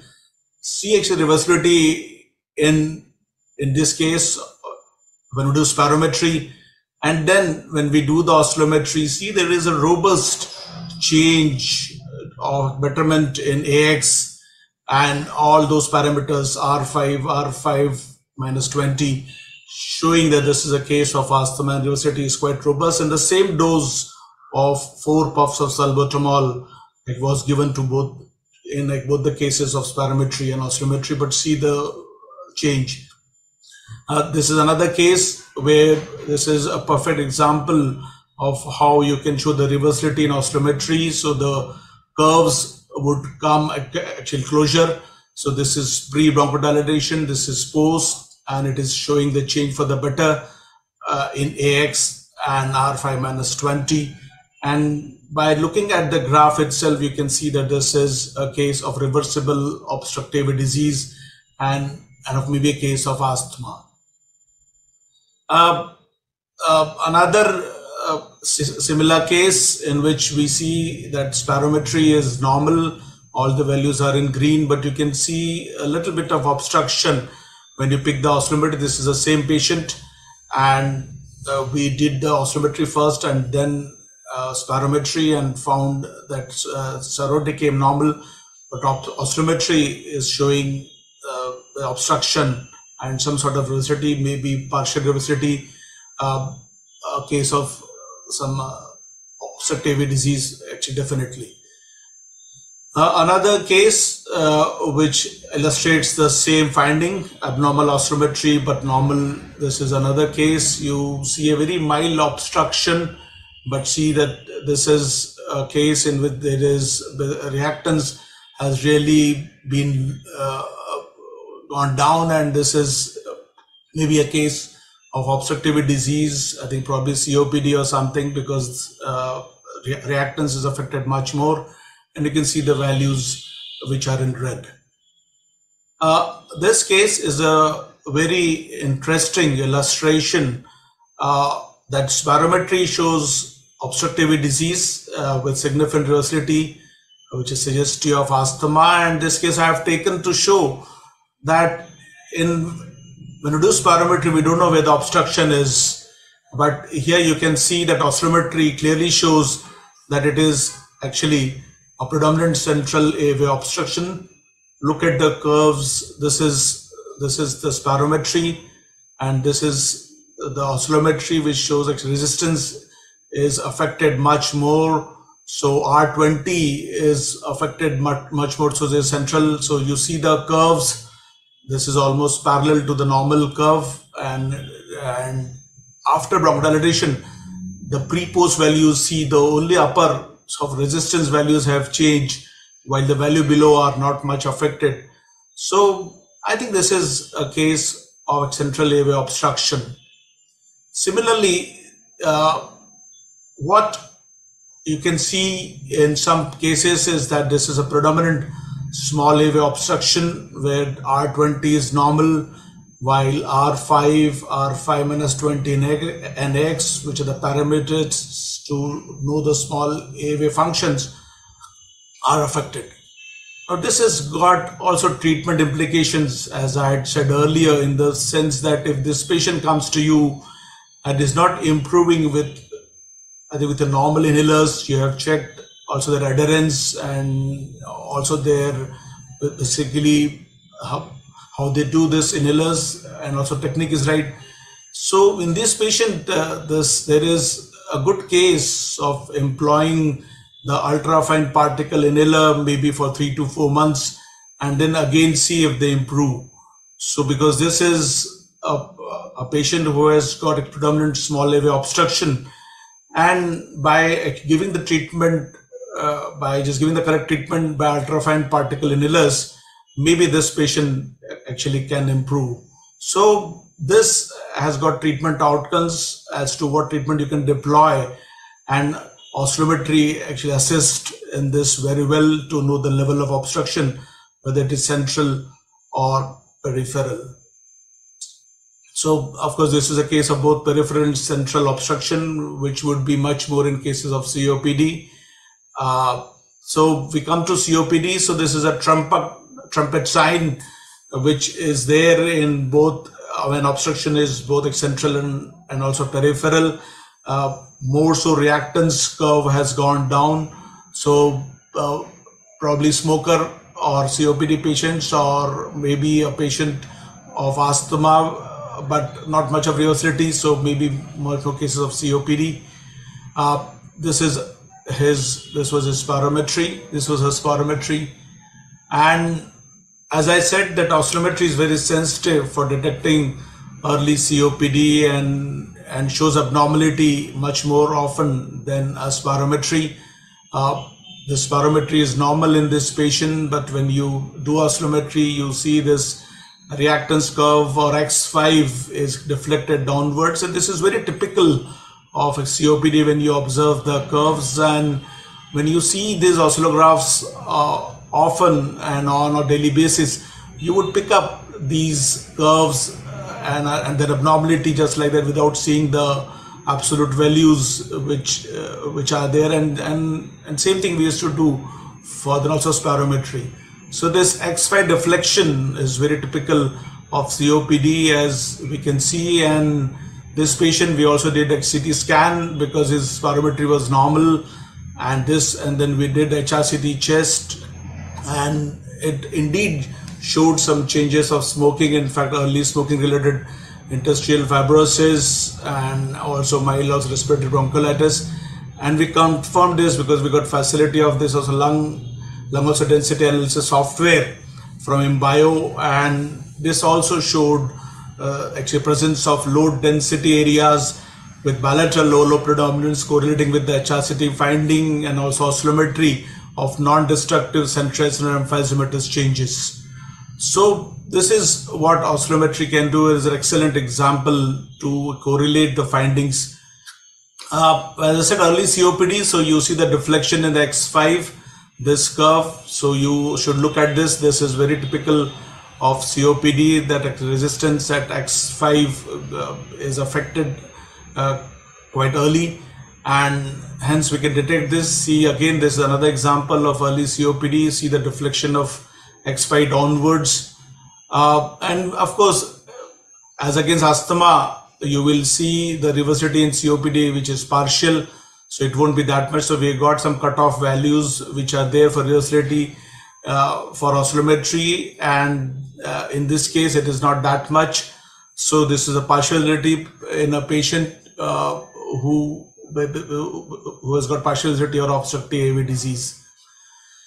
Uh, now, a lot of question asked about whether oscillometry can also detect actually restrictive pattern or more so in ILD patients. So initially we didn't have much of data, but now data is has come into the literature where uh, we are actually detecting this and simple if we have got history of the patient doesn't is not a smoker has got no history of asthma or any obstructive disease and you see a curve which has got this normal resistance and abnormal reactance as this is the case this is his, this is the patient of patient and this, this is patient spirometry uh, which is which clearly detects it is a restrictive curve.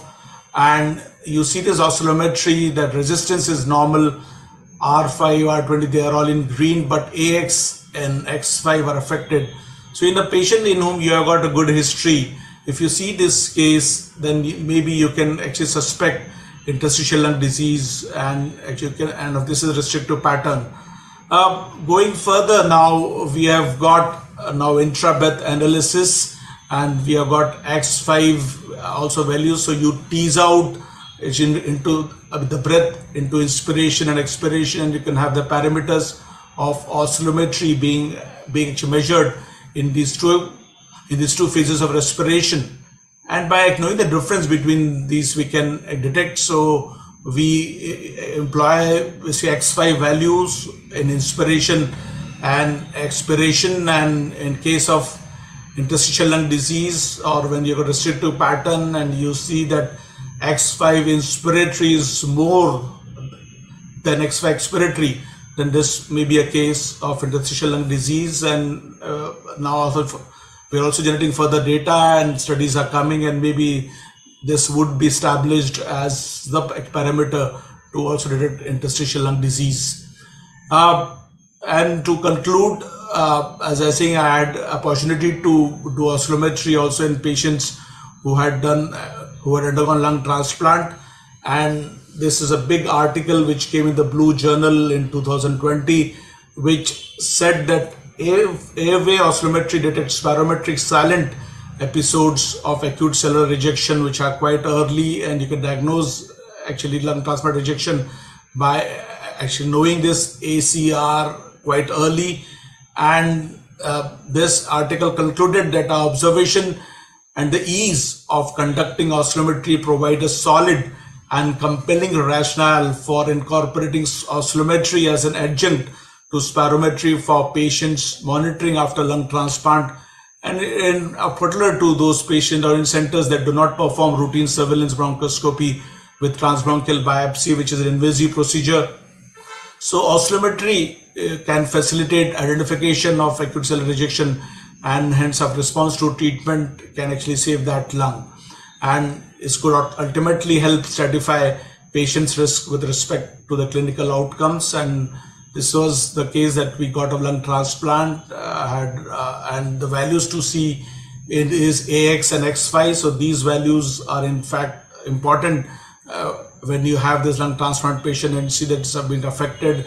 This patient had indeed a problem. We did a surveillance bronchoscopy and there was basically a problem this patient. There was obstruction and we could detect and then we could basically also uh, transfer this information to the lung transplant physician and and then hopefully we can take corrective steps so these are some of the case histories or case which i have uh, picked up from my own practice. And this is a beginner's thing. And i would suggest uh, all of you to and then when you got oscillometry in your own clinic hospital you should try to do both actually both i mean together. Uh, maybe you can maybe when you're learning you can also subsidize your oscillometry cost that's what i did. I used to do oscillometry free of cost uh, first actually before doing my routine spirometries and i used to correlate the findings and, and then you learn very fast and i would say that basically you should do both and they should be done in also conjunction and you can get more and more values it adds to the value if you do both the thing, both both oscillometry and spirometry together. As as as information you get is immense, and as you learn, you would know that how it can help in your clinical practice to also manage your patients. Thank you, thank you for your patient listening. Thank you, uh, Dr. Rajesh. All those cases have really uh, been helpful. You know, the cases, the graphs which you showed. I think real life life scenarios are very important for any of us to understand technology. So uh, I'm I'm getting lots and lots of questions, and uh, we'll, I'll just introduce two of the panelists who are going to be joining us now. Uh, we have with us Professor Dr. Ravi Doshi. He's the head of department, Department of Respiratory Medicine at Kokila Kokilaben Dhirubhai Ambani Hospital at Indore, MP. He was initially as the head of department at SAMC PGI Indore MP. He's awarded with many awards, the IMA Best Teacher Award 2020, the Best Young Physician Award, Padma Shri Dr. S.M. Mukherjee Award, and has many publications in Index Journal, always very active, and also well known for his YouTube exploits of creating health awareness uh, videos and so on and so forth. So welcome, Dr. Ravi. And we have with us uh, a young dynamic pulmonologist, Dr. Mandeep Kaur Sodhi. She is a MD Pulmonary Medicine, DNB Pulmonary Medicine, and presently the Assistant Professor, uh, Department of Pulmonary Critical Care and Sleep Medicine at the Government Medical College Hospital, Sector 32, Chandigarh. Member of many associations, international, national, very active in academics. And of course, we'll be sharing, uh, she will be sharing her experiences with the oscillometer. So without further delay, we have got a few some amount of questions which I need to definitely ask our panelists. So uh, uh, Ravi, just to open from your end, you know, when before we start, were planning to this, do this panel discussion, Rajesh is live now. He had sent me a text message three days back. Never call it IOS. You should call it oscillometry. It's like using a Xerox as a word for a copier. So, so I'm just going to ask you a simple question we hear of FOT, we hear of IOS. So what exactly are the differences and what is the technical difference in this? So basically, uh, FOT was the initial technique whereby sound waves were used at fixed frequencies, particularly like let's say 5, 10 and 30. and uh, they were transmitted and uh, the the properties were measured. Uh, whereas in impulse oscillometry, a whole range of frequencies is uh, given, uh, multiple impulses are given, and the properties are measured at all the frequencies in the lung. Okay. No. Sorry. Dr. Lennart, yes, please. Yeah, no, um, uh, th th this is a source for, for misunderstanding. Um, and um, uh, the IOS device delivers or tries to deliver square waves. Now, if you know anything about um, square waves, they are made up of an almost infinite number of frequencies and a lot of high frequencies. Otherwise, you could, wouldn't get the sharp, quick rise in the in the um, uh, initial of the pulse. So the way they do it is that every point two seconds they deliver such a pulse, one in, one out, one in, one out. So the basic frequency by which the speaker, because it's a speaker membrane being shifted back and forth, is every 0.2 seconds, which is 5 hertz, right? So when you do this with a speaker membrane, you will also generate the harmonics of 5 hertz. And as uh, Sundeep Salvi discussed before, you will then have this harmonic interference at all the multiple frequencies of 5. So 10, 15, 20, 25, and so on and so forth. Um, the power spectrum is not controlled. The only thing they control is really that the speaker flips back and forth. So they have no control over the power of uh, of the um, of the um, uh, signal going in. It's probably a lot stronger than any of the other devices, be that Antilia, or Tremoflo, because it's not controlled. They don't have any feedback. So what sets that apart uh, from from the multi-frequency oscillometry that we're using these days, on which all the modern devices are based on, is that we do have a much higher precision control on the flow, pressure, and volume. We produce continuous sine waves, meaning that we're measuring continuously over the whole time, not only when the pulse appears. Um, we use prime numbers. Prime numbers are important because then you avoid all those harmonic interferences, and so you'll have a much higher quality signal. Um, the frequencies cover the range of interest we don't have any unnecessary frequencies going behind or, below, so we don't create a lot of, noise um, using the the uh, the, uh, uh, well-defined sine waves. Another thing, we can also control the amplitudes for all the individual frequencies. We produce the highest power at the lowest frequency, 5 hertz in most cases, right? Then you scale that roughly inversely to the um, frequency content. Sort of a bit technical here, but the, the question was such, right?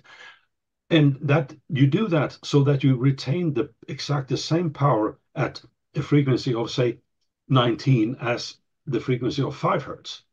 And you do that by scale it inversely to the frequency. Um, so all of this just generates a much higher quality signal going in. It also allows for a much um, better analysis because you know exactly what you put in, you know exactly what should come back out. So if something else comes out, you know it wasn't my signal. You can you can eliminate that from from the analysis. Um, so um, I think all of these things just generate a much better quality um, device. that being said, IOS was a wonderful invention back in the late 1980s when it was invented. And you have to remember that they didn't have the computers we have today, so they were limited to what they could do. So a pulse would sort of limit the, the number of, of, of data points they had to analyze. Because now you have space between, you have 2.2 seconds space between each and every pulse, which allowed the, the computers at the time to actually crunch the numbers. Today, we can actually do the same thing with a continuous sine wave. Um, uh, and and um, so yeah, we we do have we ha we do have a much uh, higher quality these days. That's essentially what it boils down to. Yeah, yeah. Thank you, thank you so much for that uh, explanation, Dr. Salvi sir. That uh, uh, uh, you know, there is a question which is coming up about the uh, in pre-operative because we generally apply spirometry even in surgeries for fitness. So how do we use that in terms of oscillometry? Good, good question. Uh, I'm not aware of any good study that has evaluated the role of oscillometry for pre-operative fitness. Now, my logic tells me that whenever you want to operate a patient, uh, maybe it's a thoracic surgery or an abdominal surgery, lung volumes will probably be more important and relevant than your resistance and your reactance uh, that we find on oscillometry. So I would rather use spirometry for a preoperative fitness or preoperative evaluation. Uh, oscillometry, there's no study as of now. So until we get that, uh, until we develop that science, I don't think we should recommend that. Thank you. So that clarification was important because almost five, six questions had come regarding how do we evaluate for operation, surgery, pre-operative. So uh, Mandeep, uh, you know, we have already had a couple of talks, but again, there are a few uh, clarifications needed from our audience that if I have to differentiate asthma and COPD based on a oscillometry, what parameters and how should I, you know, pick up small pointers to understand. So just make it a very simple explanation for them. Maybe a summary of whatever the slides were shown, asthma and COPD in terms of oscillometry. Okay, good evening, everyone. Uh, so basically, as uh, very beautifully explained by Dr. Salvi, we uh, ideally both are obstructive airway diseases, but basically in asthma, there is a mixture. To start with, in a pure asthma phenotype, it is a large airway obstruction. So the resistance at all the frequencies is going to increase. We will see that there will be an increase in the R5, there'll be an increase also in the R20 because the central airways are involved, you know, earlier. Also, the difference in R5, R20 would be there, but that would be not very great. Whereas in COPD, what we see is that uh, since the small airways are predominantly involved, so R20, first of all, would be uh, in the normal range, very close to normal. R5 would increase, and the difference between the two, that is R5 and R20, is going to be a very big value. Also, in COPD, the reactance is one parameter that you know shifts more uh, compared to resistance. So if we compare with asthma, that uh, parameter that dominates in COPD is reactance. Also, when we do the post bronchodilator studies, the uh, asthma patients will show a very good reversibility. You know, R20, that is the large airway obstruction, almost disappears. It is it comes down to the pre bronchodilator levels R5 decreases as well. Whereas uh, in COPD, the levels would decrease. That is a kind of a partial reversibility. So that is uh, when I'm talking about, you know, a purely asthma phenotype, not a mixed or not something with remodeling. Sir. Absolutely. So fine. At least that gives a rough idea, you know, because the the ones who are in just starting off doing an oscillometry, they will be more easier to understand this concept. So coming Ravi back to you, uh, also we have got certain questions which are being asked on what's the role of oscillometry in upper and the central airway obstruction and you know how does it uh, uh, help us? Is it anything on that? Any pointers you want to put on that? Uh, basically, if uh, in upper airway obstruction, uh, there is a rise in all the resistance parameters, whereas in uh, central airway obstruction, the R5, R20 difference will be maintained. Uh, only the R5 and R20 will be raised.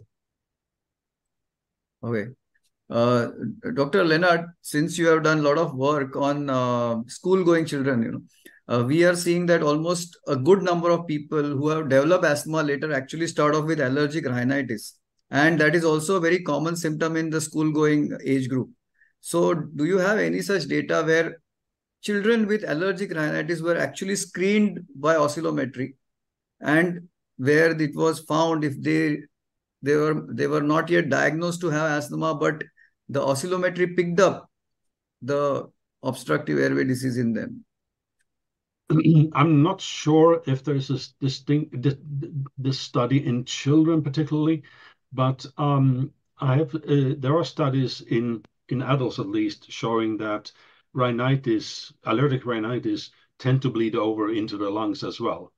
Um, now, in I'm not sure how it is in India, but in a lot of, of countries, there's a strong separation between ear, ear, throat, nose doctors and lung doctors, right? So the, the, people looking at, at the, the, the head part sort of of the airways, they don't really think much about the lungs.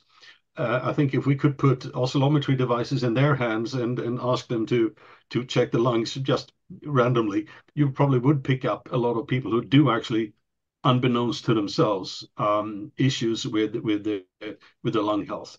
Um, I we have um, a study. I know of a study in in California in in young children starting from age two up to age seven. They were admitted into the study uh, by their GPs, uh, presuming that they were well controlled, all based on either spirometry in in the cases kids could do spirometry or just by by um, uh, you know the, the usual um, you know uh, auscultation of the of the kid and then they were tested with oscillometry in the study and they found that somewhere between 50 and 60 percent of the kids presumed by their GPs being well controlled were actually not well controlled. They still had strong signs of small airways disease. So, you know, I think children is is really an under underserved uh, population in in uh, in um, uh, airways diseases.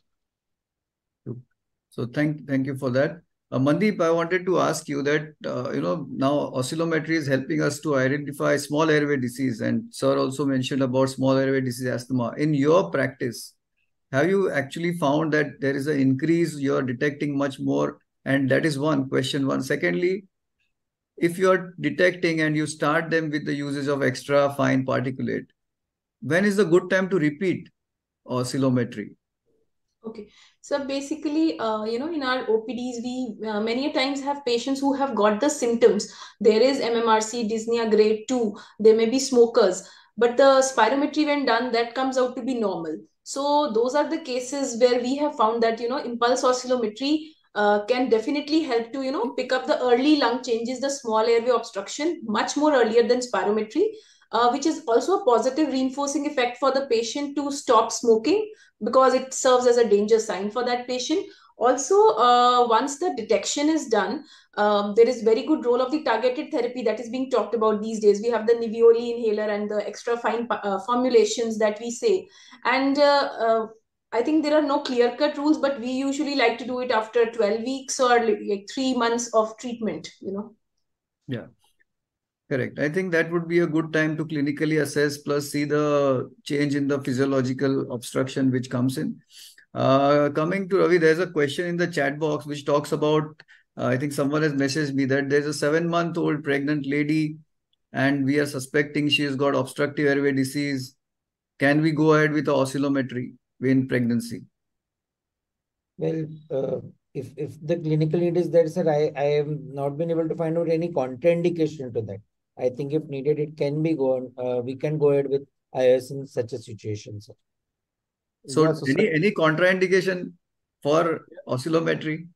Uh, yeah, Salil, as I was as I was saying, in fact, there is no contraindication to oscillometry and all those contraindications that exist for spirometry are not there for that because we are also using oscillometry in our ICU patients and also patients who are also on basically ventilators. Right. Right. So so so so then I think any, any, anyone who can breathe, as I said, uh, I think uh, can do oscillometry, and there is no absolute contraindication. And of course, pregnant ladies are one of uh, a very good indication in which you can deploy oscillometry instead of spirometry, and and then of course, and then if she's just six or seven months pregnant, you know, so that is uh, I think a better tool, and I, I and I, we should do that.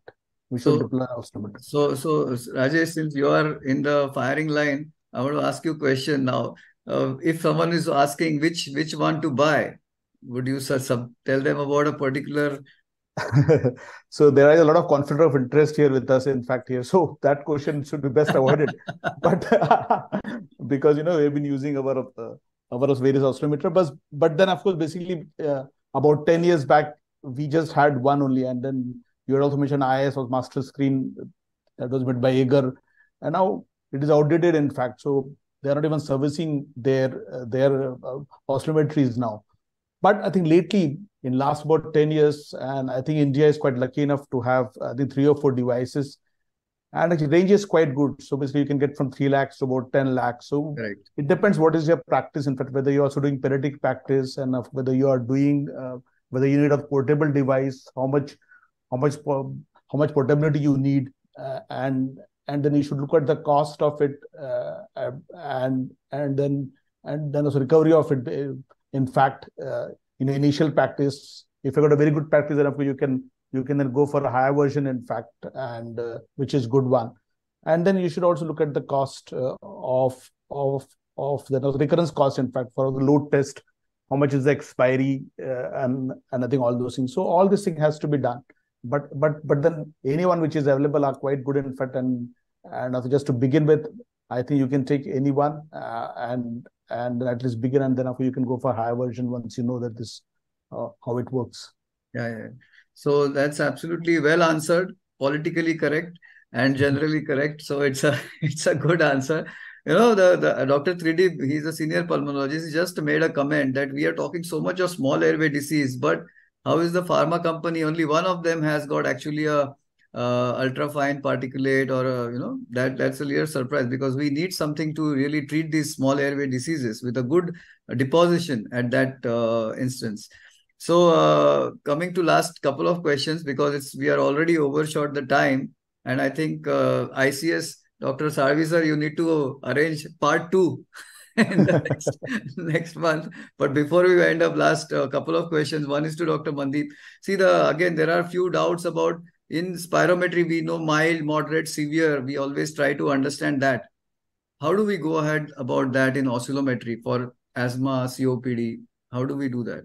Uh, so as far as I'm aware, uh, as of now, there are no clear-cut values to distinguish uh, mild, moderate, severe in case of obstructive or restrictive diseases.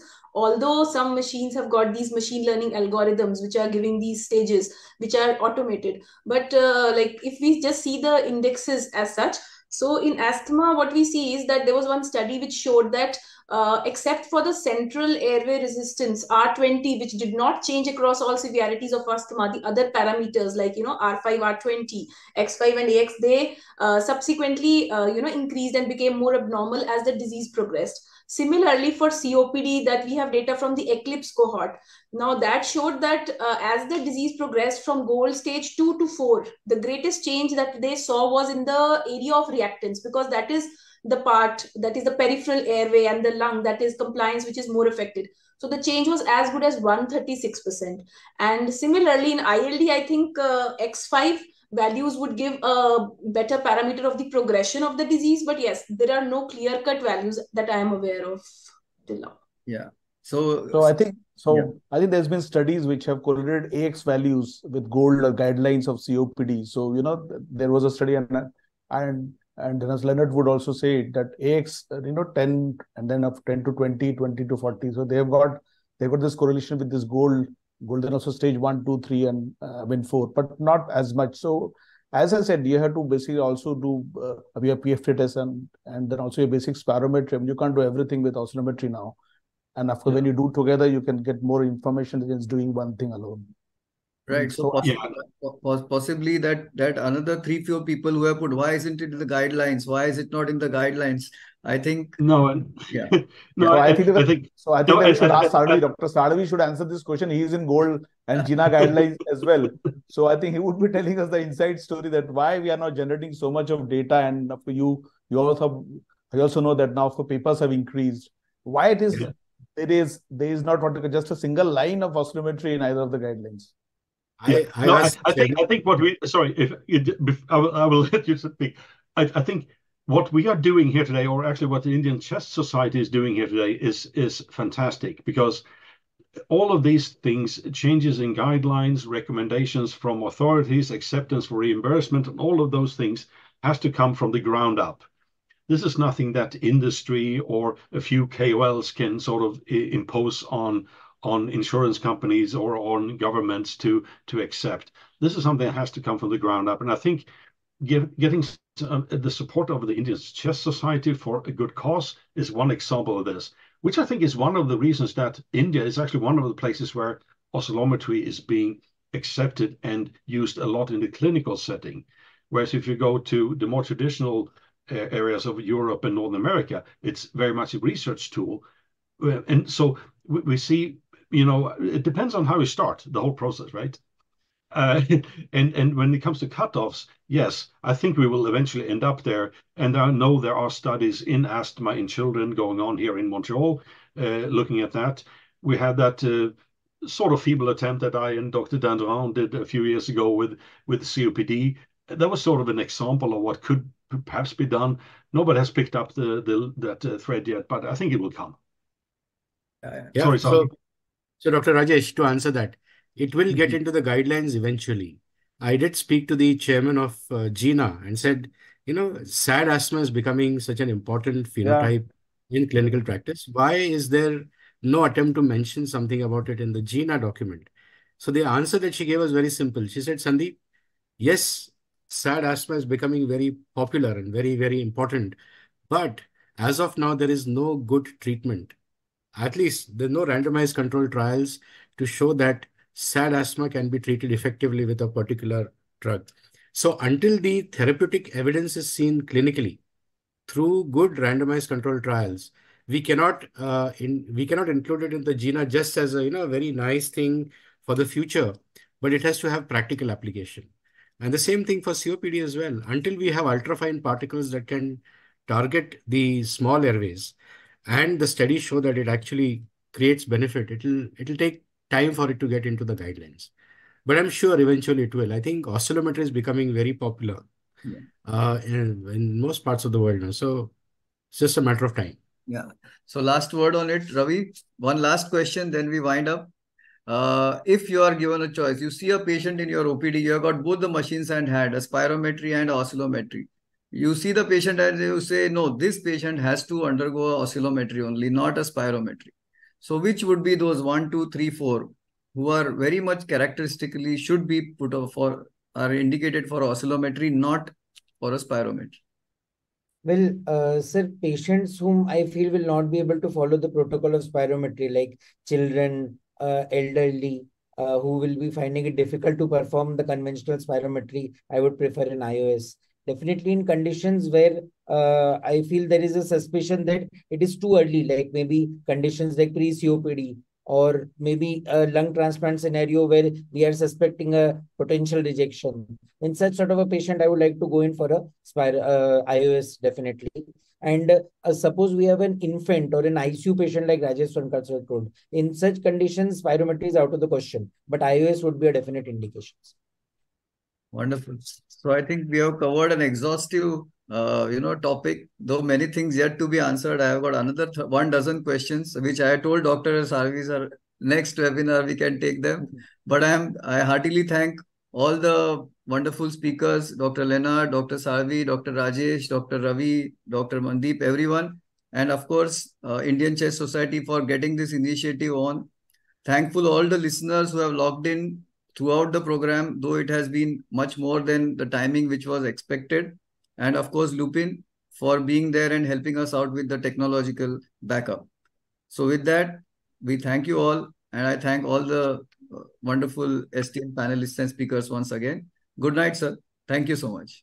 Thank you, Salim, for a wonderful moderation. Thank, Thank you. you. Thank you, Salim. Thank you, Thank you, everyone. Good night. Thank you. Bye. Thank you, everyone.